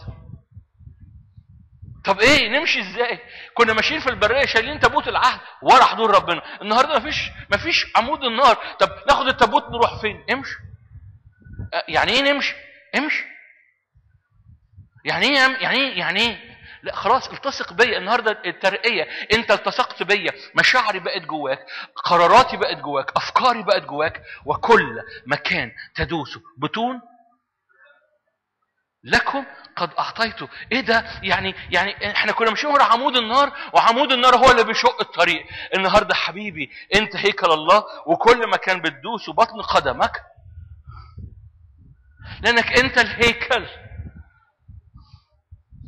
فجأة تحس إيه طب أنا هعمل إيه؟ حبيبي التصق بالرب. من التصق بالرب هو روح واحد. انت هيكل الله. روح الله ساكن فيك. كل مكان تدوس بطن قدمك لك قد اعطيته حد فاهم حاجة؟ فعشان كده بنتخض في بعض الاحيان ورب يقول لك دي ترقية. وأنت تقول لا لا لا لا أرجع البرية أحسن. أدور أحسن. ورا عمود النار. من إنك تقول لي مفيش عمود نار وأنا هاخد قرار بنفسي. ناس كتيرة بتخاف تاخد قرار. عشان كده بتحاول تدور على حد ياخد القرار بدلها. وهم أشخاص روحيين يدوروا على نبي ياخد القرار بدلهم. والقصة حبيبي أنا برقيك ما تمشيش ورا عمود نار. أنت بت... أنت. التصق بيا بس. التصق بيا. همساتي بقت في دماغك مشاعري بقت في مشاعرك. عينك تتملي بيا التصق بيا. انت هيكل الله روح الله بقى ساكن فيك. التصق بيا التصق بالرب. وتدرك بقى انه مش عمود نار. لا ده حضرتك اللي كل مكان تطأ بطون أقدامكم لكم قد أعطيته. فنقلة إدراكك وتبعيتك للرب تتغير. أنت الهيكل نقطة التلاقي ما بين السماء والعمل الخلصان في السماء والأرض هي الهيكل. روح الله ساكن هنا. طب أعمل إيه؟ الزق في الرب. قل له أنا إنسان الروح. أنا جاي ألزق فيك علشان لما بلزق فيك بيشع بيفيض. آدم الأخير فيا. فباخد قرارات. صح. وأنا وأنا أصلا ما فيهاش ذكاء. بس آه أنت بقيت أنت. يسوع الحكمة يسكن سفر الأمثال يسكن إيه؟ الذكاء. يسوع ذكائك. يسوع اختياراتك. يسوع قراراتك. يسوع مشاعرك. يسوع لمستك. يسوع أشواقك أحلامك. وده مش كلام شاعري وعظي. ده, ده هو ده القصة الأصلية. كل ما تفتح له المجال يقول لك آه فقدموا ده روميا ستة يعني ممكن نقعد نحكي ساعتين في القصة دي. روميا ستة قدموا أعضاءكم آلات للبر. يعني إيه قدم كل حاجة. إيه أعضائك دي؟ مشاعرك عواطفك أحلامك خيالك أفكارك علاقاتك مشيئتك لمساتك مشوارك فلوسك أيامك. فإيه؟ آه فأحيا لا أنا. ليه؟ القصة بقت قشرة بيعيش فيها الآدم الثاني وإنسان الروح ده بره كل محدودية. فبيختبر كل مشيئة ربنا. الخضة اللي بتحصل في يشوع إنه فجأة عمود النار ما بقاش موجود. هنعمل إيه؟ هنختار بقى. وقعت علي أنا لازم أقول أنا لازم أختار يمين ولا شمال؟ تصور معايا الكهنة. فجأة بقوا شايلين تابوت العهد. والمسؤولية بقت عليهم. نمشي كده ولا نمشي كده؟ طول البرية ما كانوش بيقرروا القرار ده. كانوا شايفين عمود النار ماشيين وراه أول ما دخلوا عند الأردن أوكي ترقيه مفيش عمود نار. بقى جواكم. مين عايز يترقى؟ إيه وأنا كمان. تعالوا نش... تعالوا نقف قدام الرب تعالوا نصلي.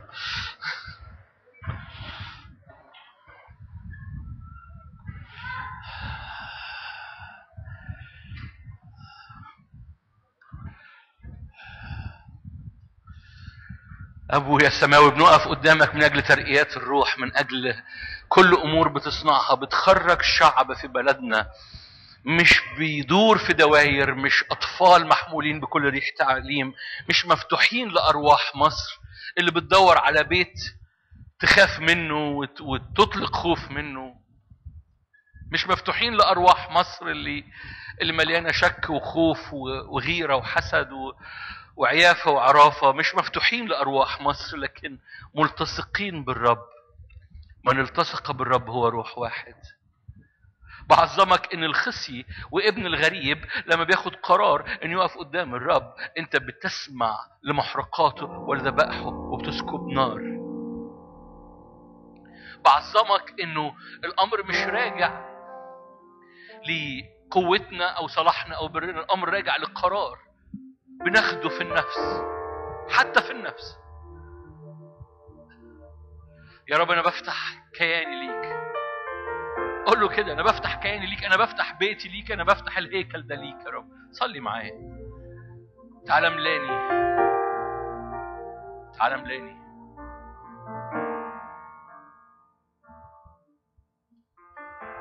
إملى مشاعري إملى جوارحي إملى شهواتي إملى أفكاري إملى ردود فعلي إملى أحلامي. تعالى إملى الهيكل إملى الهيكل بتاعك. أنا الهيكل. انت قولي كده أنا الهيكل.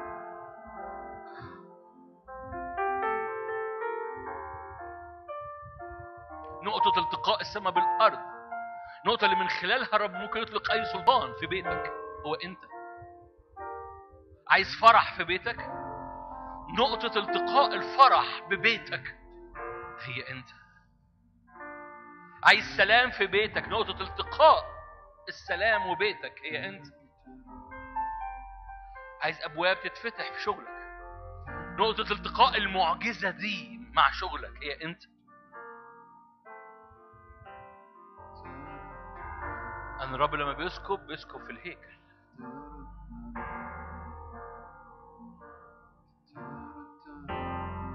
من التصق بالرب هو روح واحد. قول يا رب أنا بفتح كياني عايز مش عايز مش عايز أعمل زي يوحنا ويعقوب يا رب وأطلع كلام كده. وأنت تبص لي تقول لي يا نادر أنت مش عارف من أي روح أنت. مش عايز أسيب مشاعري وأفكاري تنطق أي كلام. لأن الإنسان هيقدم حساب عن كل كلمة. عايز كلامي أفكاري مشاعري حياتي. تبقى مليانة بروحك لأن الروح القدس بيدور على بيت يستخدم فيه كل حاجة. قول له يا روح الله استخدم فيا كل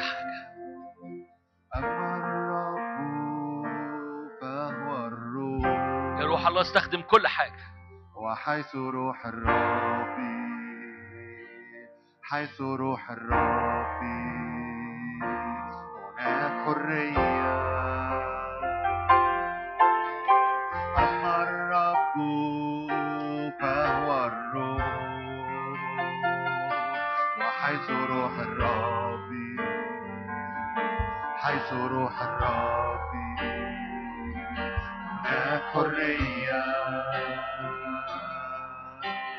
حيث روح الرب هناك حرية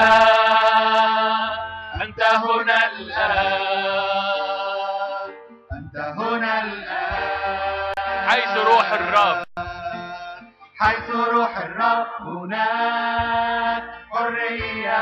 حرية لأفكارك لاختياراتك؟ هنا الآن. لأيامك لسنينك. أنت هنا الآن. تجزم أمر فيثبت لك.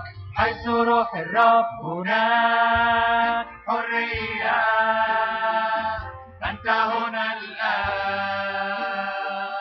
أنت هنا الآن. نعلن حرية مجد أولاد الله.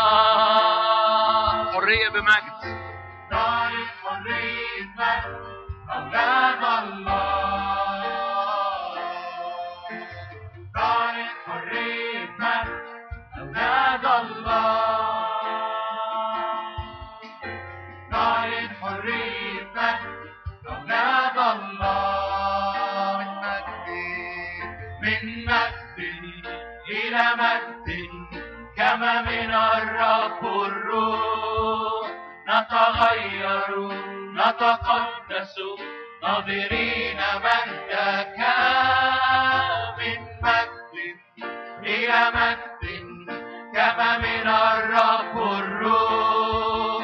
نتغير نتقدس ناظرين مجدك حيث روح الرب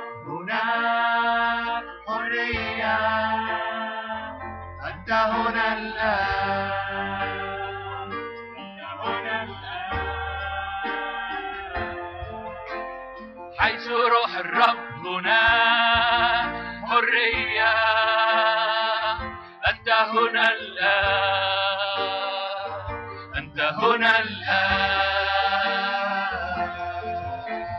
نعلن حرية لكل مكسور نعلن إطلاق لكل مذكور نعلن شفاء لكل مجروح نعلن حرية باسم يسوع.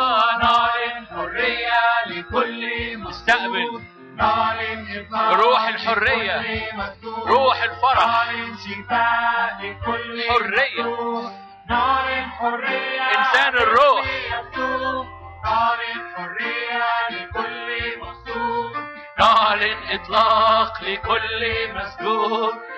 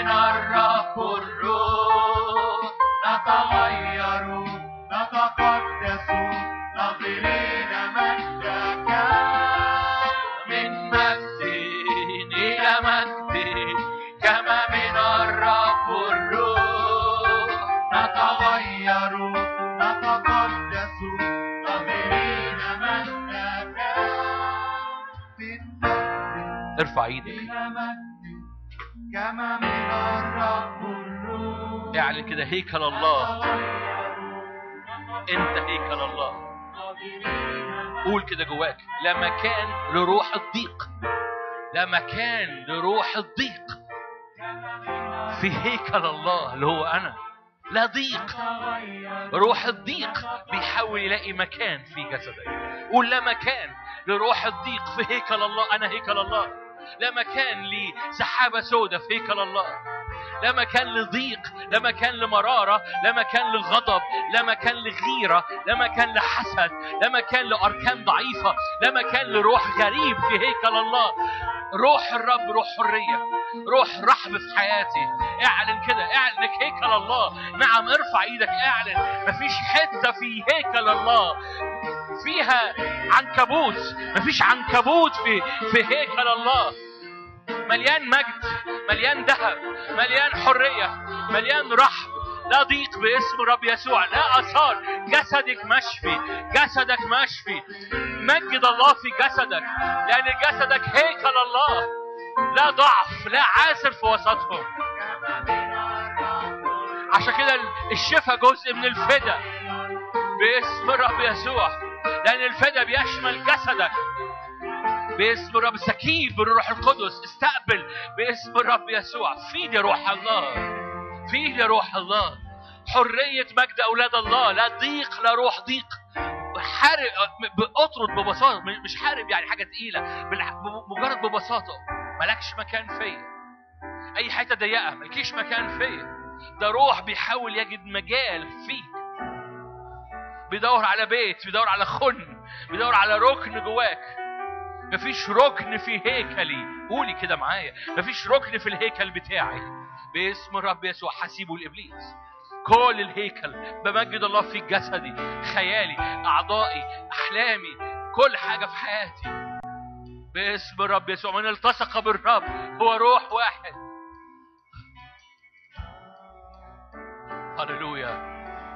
باسم الرب الروح القدس بي بيعبر كده مكتوب. رفشه في يده هو ينقي بيدره هو بينقي الهيكل بتاعه. الروح القدس بيعدي في الهيكل بيعمل تطهير بيعمل تنقية بيعمل حرية بيعمل رحب لقلبك لمشاعرك. الروح القدس عايز يستخدم قلبك مشاعرك أحلامك خيالك. عايز يستخدم إيديك سلطانك عايز يستخدم كلامك. كل. اختياراتك كل حاجة كل حتة بتدوس فيها. لك قد الرب أعطاها. لأن الرب بيتحرك مع الشعب وهو بيتحرك. هي دي الترقية. كان بيمشي قدامهم في عدو في عمود النار. النهارده بيقول لهم أنتوا الهيكل أنتوا الهيكل أنتوا الهيكل. باسم الرب يسوع. دي الترقية. باسم الرب يسوع. ان انسان الروح اللي جواك. هو اللي بيقود الحياة. إنسان الروح ده معجزي معجزي معجزي معجزي. إنسان الروح ده نشيط يستطيع. مليان نور مليان حرية مليان معجزة مليان شفاء. إنسان الروح ده مليان مشاعر الرب كلمات الرب وسلطان الرب. إنسان الروح ده ما بيقفش قدامه حاجة. إنسان الروح ده مجنون. باسم الرب يسوع. باسم الرب. ها أنا ده يا رب املاني باسم الرب. أنا هو الهيكل. املاني ده ركن فيا يفتح لأي روح آخر لا روح آخر لا روح آخر لا روح آخر في اسم الرب لا روح آخر لا روح غضب لا روح خصام لا روح غيرة لا روح زن لا روح غريب باسم الرب يسوع لا روح آخر في هيكل الرب باسم الرب يسوع هي روح المجد لأن هيكل الرب مليان مجد. هيكل الرب مليان سحاب المجد. ده أنت هيكل الرب. هيكل الرب مليان سحاب المجد. مليان لمعان. مليان حضور الرب. مليان مجد. ملكة سبأ. ما قدرش تقف. هو ده اللي قاله لهم هو ده البيت. هو ده البيت. قال له ملكة سبأ. ما قدرش تقف قدام بيت سليمان. هو ذا أعظم من سليمان. ها هنا. باسم الرب يسوع قصة مربوطة بالبيت. قصة مربوطة بالهيكل. انت هيكل الرب. هيكل الرب مليان قداسة مليان نور مليان مجد مليان فرح لا روح آخر. مليان استخدام.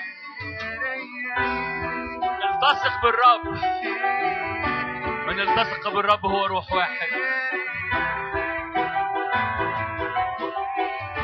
مشاعره فيك أحشائه فيك أفكاره فيك خطوته فيك. عشان كده كل مكان تطأ قدمه عشان كده ما بقاش عمود نار براك بقى نقطة التقاء السماء بالأرض خطوتك. نقطة التقاء السماء بالأرض كلمتك. نقطة التقاء السماء بالأرض لمستك. نقطة التقاء السماء بالأرض مشاعرك. نقطة التقاء السماء بالأرض أحلامك وأشواقك ومحبتك. لو بتقدم حياتك للرب نقطة التقاء السماء بالأرض هي إيديك مشاعرك لمستك خطوتك كلمتك محبتك حنانك رأفتك.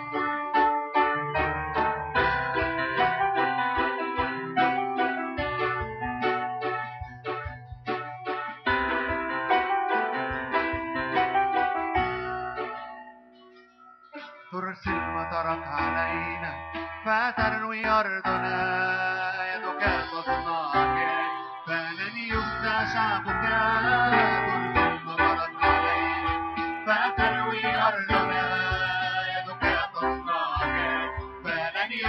شعبك. إلى رب لا حصر فيه. أنت تخرجنا إلى أرض متسعة أنت تطلقنا إلى رحم لا حصر فيه. أنت تخرجنا إلى أرض متسعة. أنت تطلقنا ترسل مطرك علينا. فتروي أرضنا يدك تصنع عجائب فلن يفنى شعبك ترسل مطرك علينا. فتروي أرضنا يدك تصنع عجائب فلن يفنى شعبك إلى رحم فيه. أنت تخرجنا إلى أرض متسعة.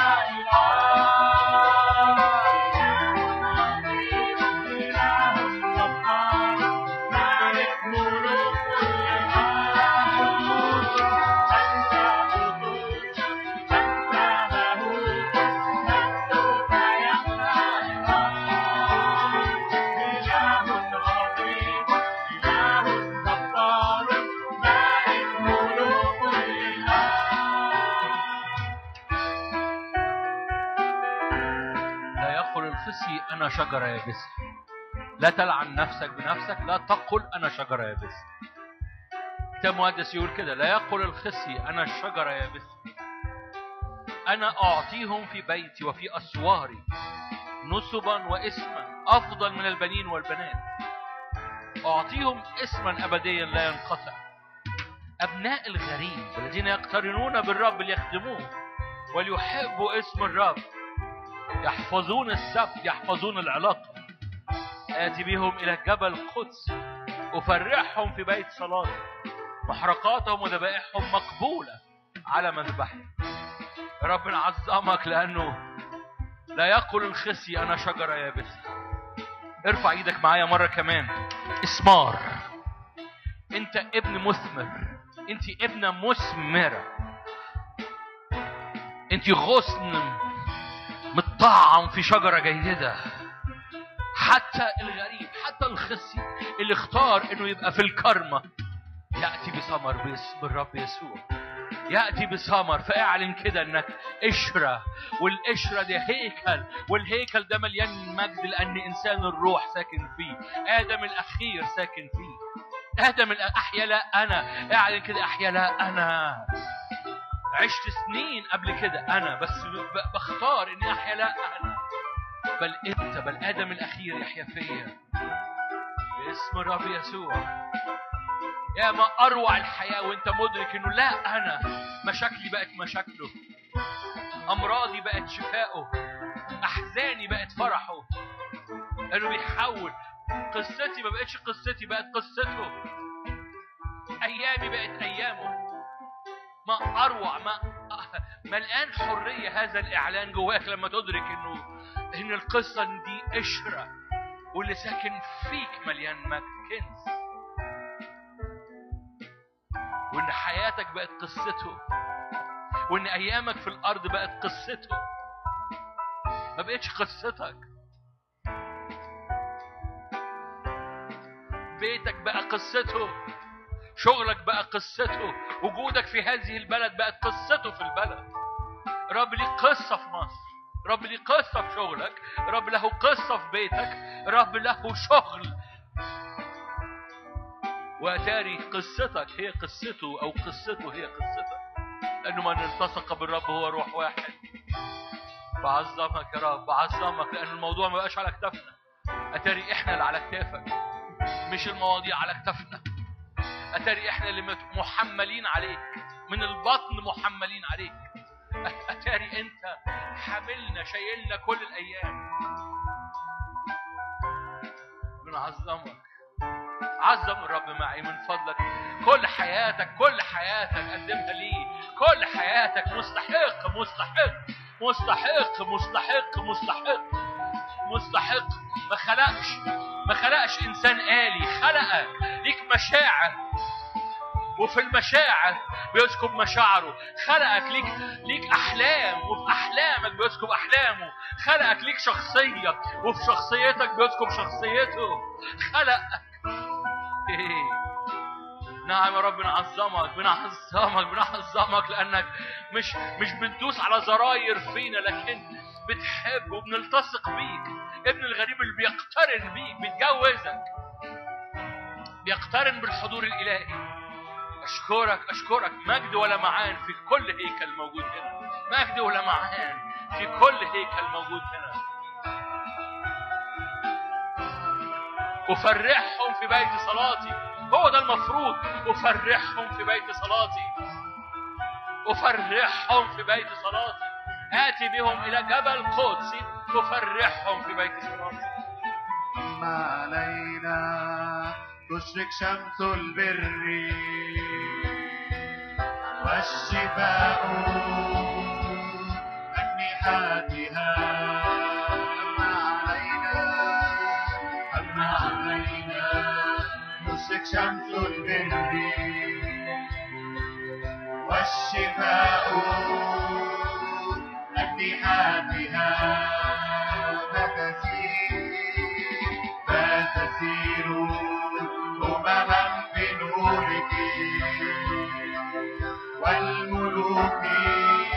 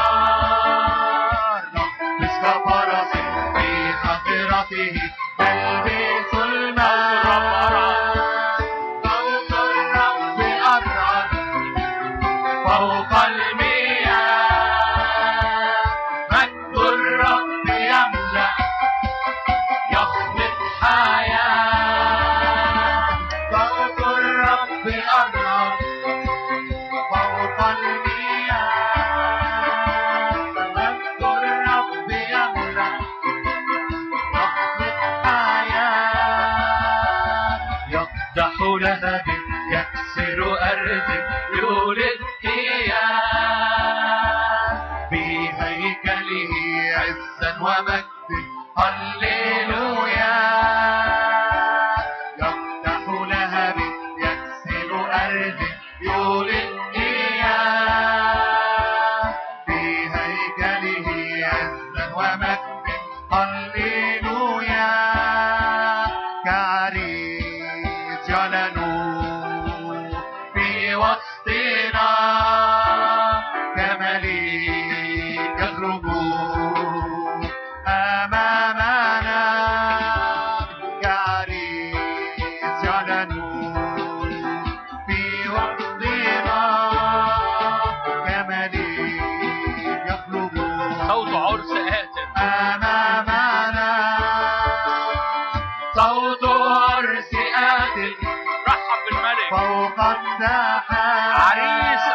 عريس عريس زينة ومجد الرب عال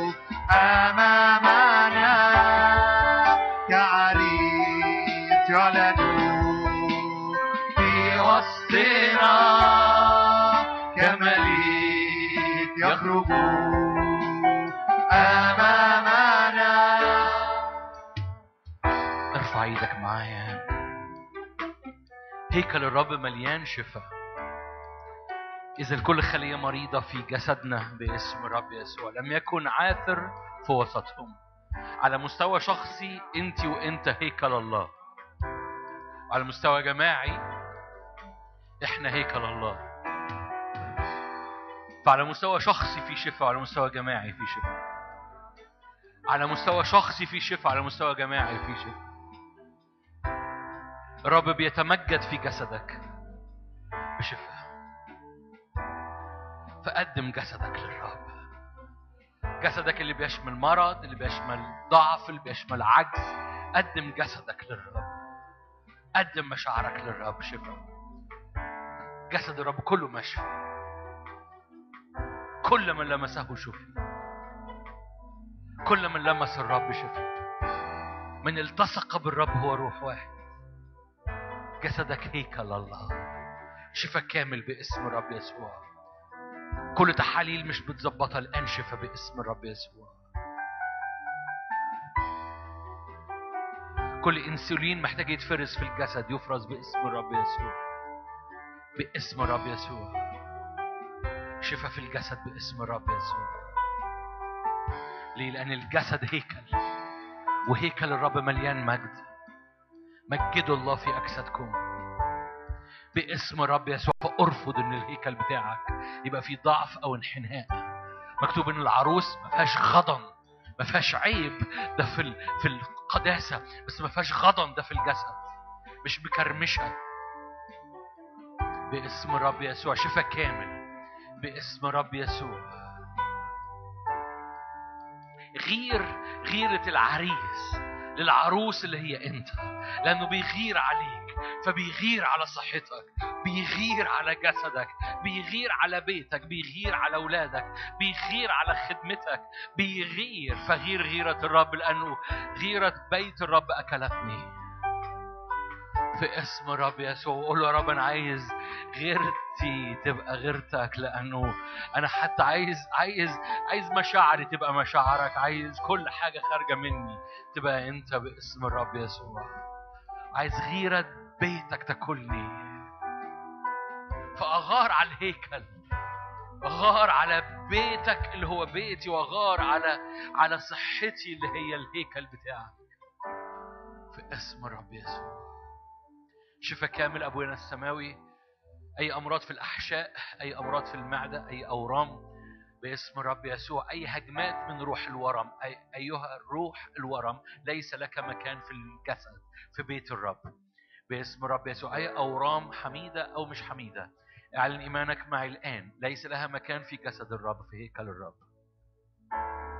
لأن كل روح بيدور على بيت. الأقوى بيطرد القوي. باسم الرب يسوع. باسم الرب يسوع. أي أورام في الغدد الليمفاوية مش شرط إن يكون فيها مرض وحش. أي ورم باسم الرب يسوع ليس لك مكان في هذا الجسد. موجود في القاعة دي أو موجود بره القاعة دي. باسم الرب يسوع ليس لك مكان في الجسد. هيكل الرب مشفي هيكل الرب مليان مجد. أي روح غريب أي روح مرض أي روح ضعف. الرب مكتوب كان كان يخرج كل روح مرض وضعف من الشعب. ليه؟ لأنه ده بيبقى هيكل الرب. روح الله يسكن فيه. اذا كل مرض وكل ضعف يترفع. فوجه صلواتك ضد المرض والضعف. روح مرض وضعف. كان يقول يصنع خيرا ويرفع كل روح مرض وضعف من الشعب. باسم الرب يسوع. الأرواح ملهاش سلطان في الأرض. فقط فقط ابن آدم. إذا ابن آدم له سلطان على الأرواح. آدم الثاني هو الأقوى من أي روح شرير. روح القدس أقوى من أي روح آخر. روح القدس أقوى. وإنسان الروح يستطيع أن الروح نشيط. ارفع إيدك معي على بيتك على اسبوعك على مواجهاتك على تحدياتك. ارفع إيدك معي واعلن انسان الروح اللي فيا مجنون. اعلن هذه الآية. اعلن انسان الروح مجنون. هي آية فتقدر تقولها وتضحك. تقدر تقولها وتبتسم جواك. انسان الروح مجنون. اذا جواك حاجة مش طبيعية. انسان الروح اللي جواك فوق الطبيعي. انسان الروح قوي جدا. يستطيع يسهر في جسيماني إنسان الروح يستطيع لأن الروح نشيط. إنسان الروح مجنون. بنعظمك ابويا السماوي روح الله خد طريقك.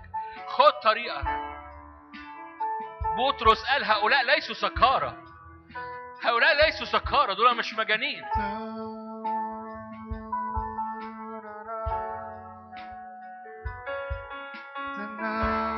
هذا ما قيل بيوئيل النبي. أسكب روحي على كل بني البشر.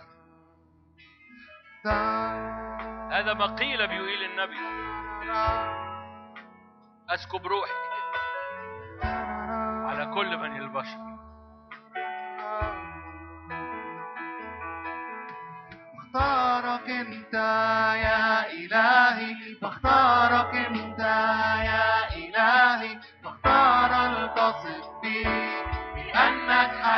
حياتي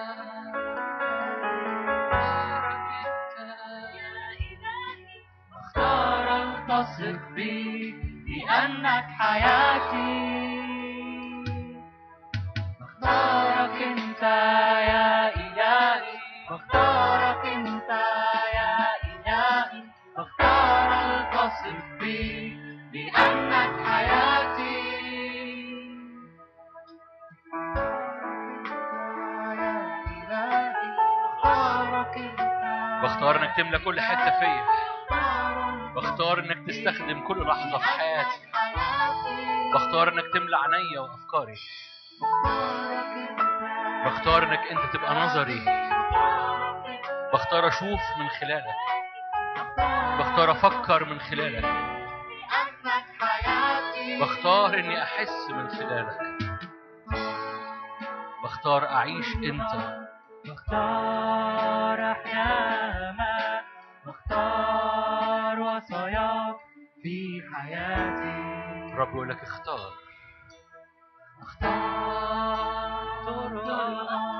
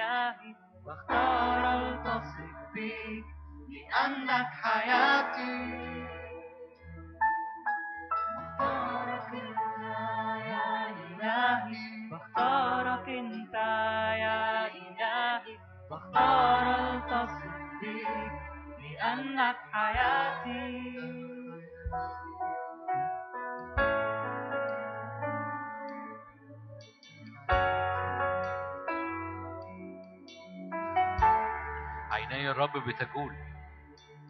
مكتوب إنه أعين الرب هي الروح القدس. الروح القدس بيجول. عشان يلاقي مستقر ليه يلاقي أفكار ما عايزة تستخدم بالروح القدس. أحلام أشواق إيدين عايزة تستخدم بالروح القدس. كلي لك يا رب. قل له كلي لك أنا هو. إنسان الروح. لما تروح النهارده بالليل نام على سريرك كده وقول أنا إنسان الروح. املاني تعالى اقع عليا زي ما اليشع وقع على الصبي. تعالى يا رب حط عينيك على عينيا ايديك على ايديا فمك على فمي. خلي الروح يسخن في حياتي.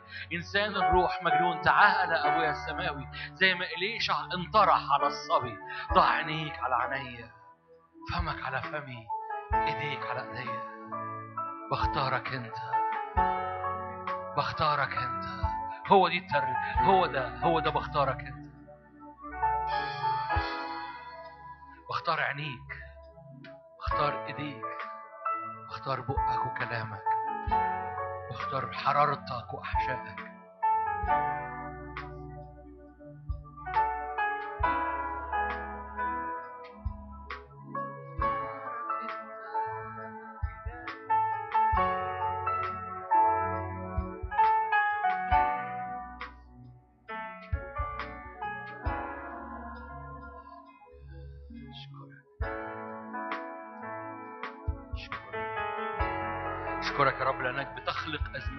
جديده بتخلق لك جيل في بلدنا في نهاية الاجتماع ارفع إيدك معي.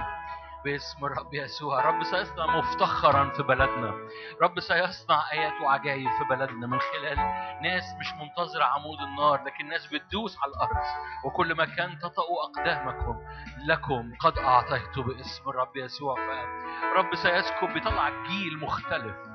بيطلع جيل مختلف بيدوس الأرض بسلطان. مش معتمد على مشاعر أو على أحاسيس مش معتمد على برية ودورانات على جيل مختلف بيسير وراء الرب وبيدوس في الأرض ويعبر ويمتلك.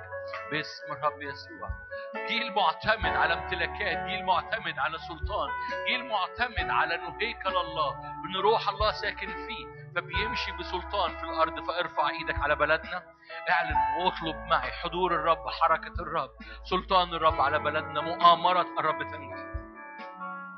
باسم الرب يسوع باسم الرب يسوع مؤامرة الرب تثبت إلى الأبد.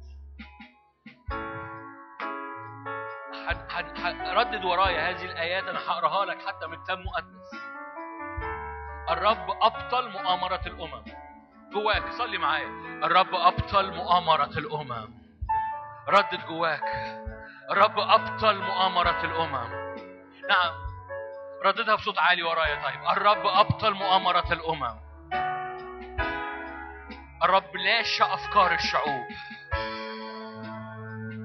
أما مؤامرة الرب فإلى الأبد تثبت. أفكار قلبه من دور فدور. الرب أبطل مؤامرة الأمم. قولها بسلطان. مرة كمان. الرب أبطل مؤامرة الأمم. قولها كهيكل الله وروح الله ساكن فيك. الرب أبطل مؤامرة الأمم. الرب لاشى أفكار الشعوب. أما مؤامرة الرب فتثبت إلى الأبد. سبح الرب وعظم الرب. نعم عظمه وعليه جدا لأنه له كل السلطان. له كل السلطان. له كل السلطان. له كل السلطان. بيطلق سلطانه في بني آدم. أعطى ليك إنك أنت تنطق كلمة الرب. أنت تنطق كلمة الرب. تنطقها بسلطان لأن الرب سلطانه في الأرض من خلال الهيكل اللي هو أنت. فلما انت تقول الرب أبطل مؤامرة الأمم الملائكة بتتحرك الرب لاشى أفكار الشعوب. الملائكة بتتحرك مؤامرة الرب تثبت أنت بتعلن سلطان الرب باسم الرب يسوع. مستحقون أيها الرب أن تأخذ المجد. مستحقون أيها الرب أن تأخذ الكرامة مستحقون أيها الرب أن تأخذ القدرة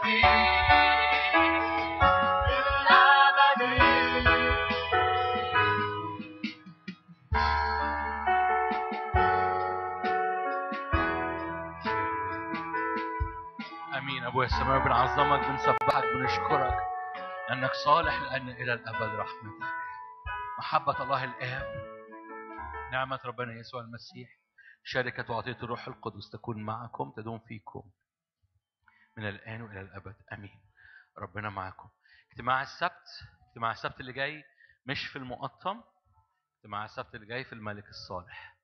حتى اللي بيسمعونا على النت اللي ما بح... لأنه مش معظمكم بتحضر اجتماع السبت. الاجتماع السبت اللي جاي في المقطم في في الملك الصالح. هنبعت خبر بس اللي يعرف ناس بتحضر اجتماع السبت يقول لهم إنه في الملك الصالح. آمين. ربنا معاكم. فريق الخدمة يلبس الب...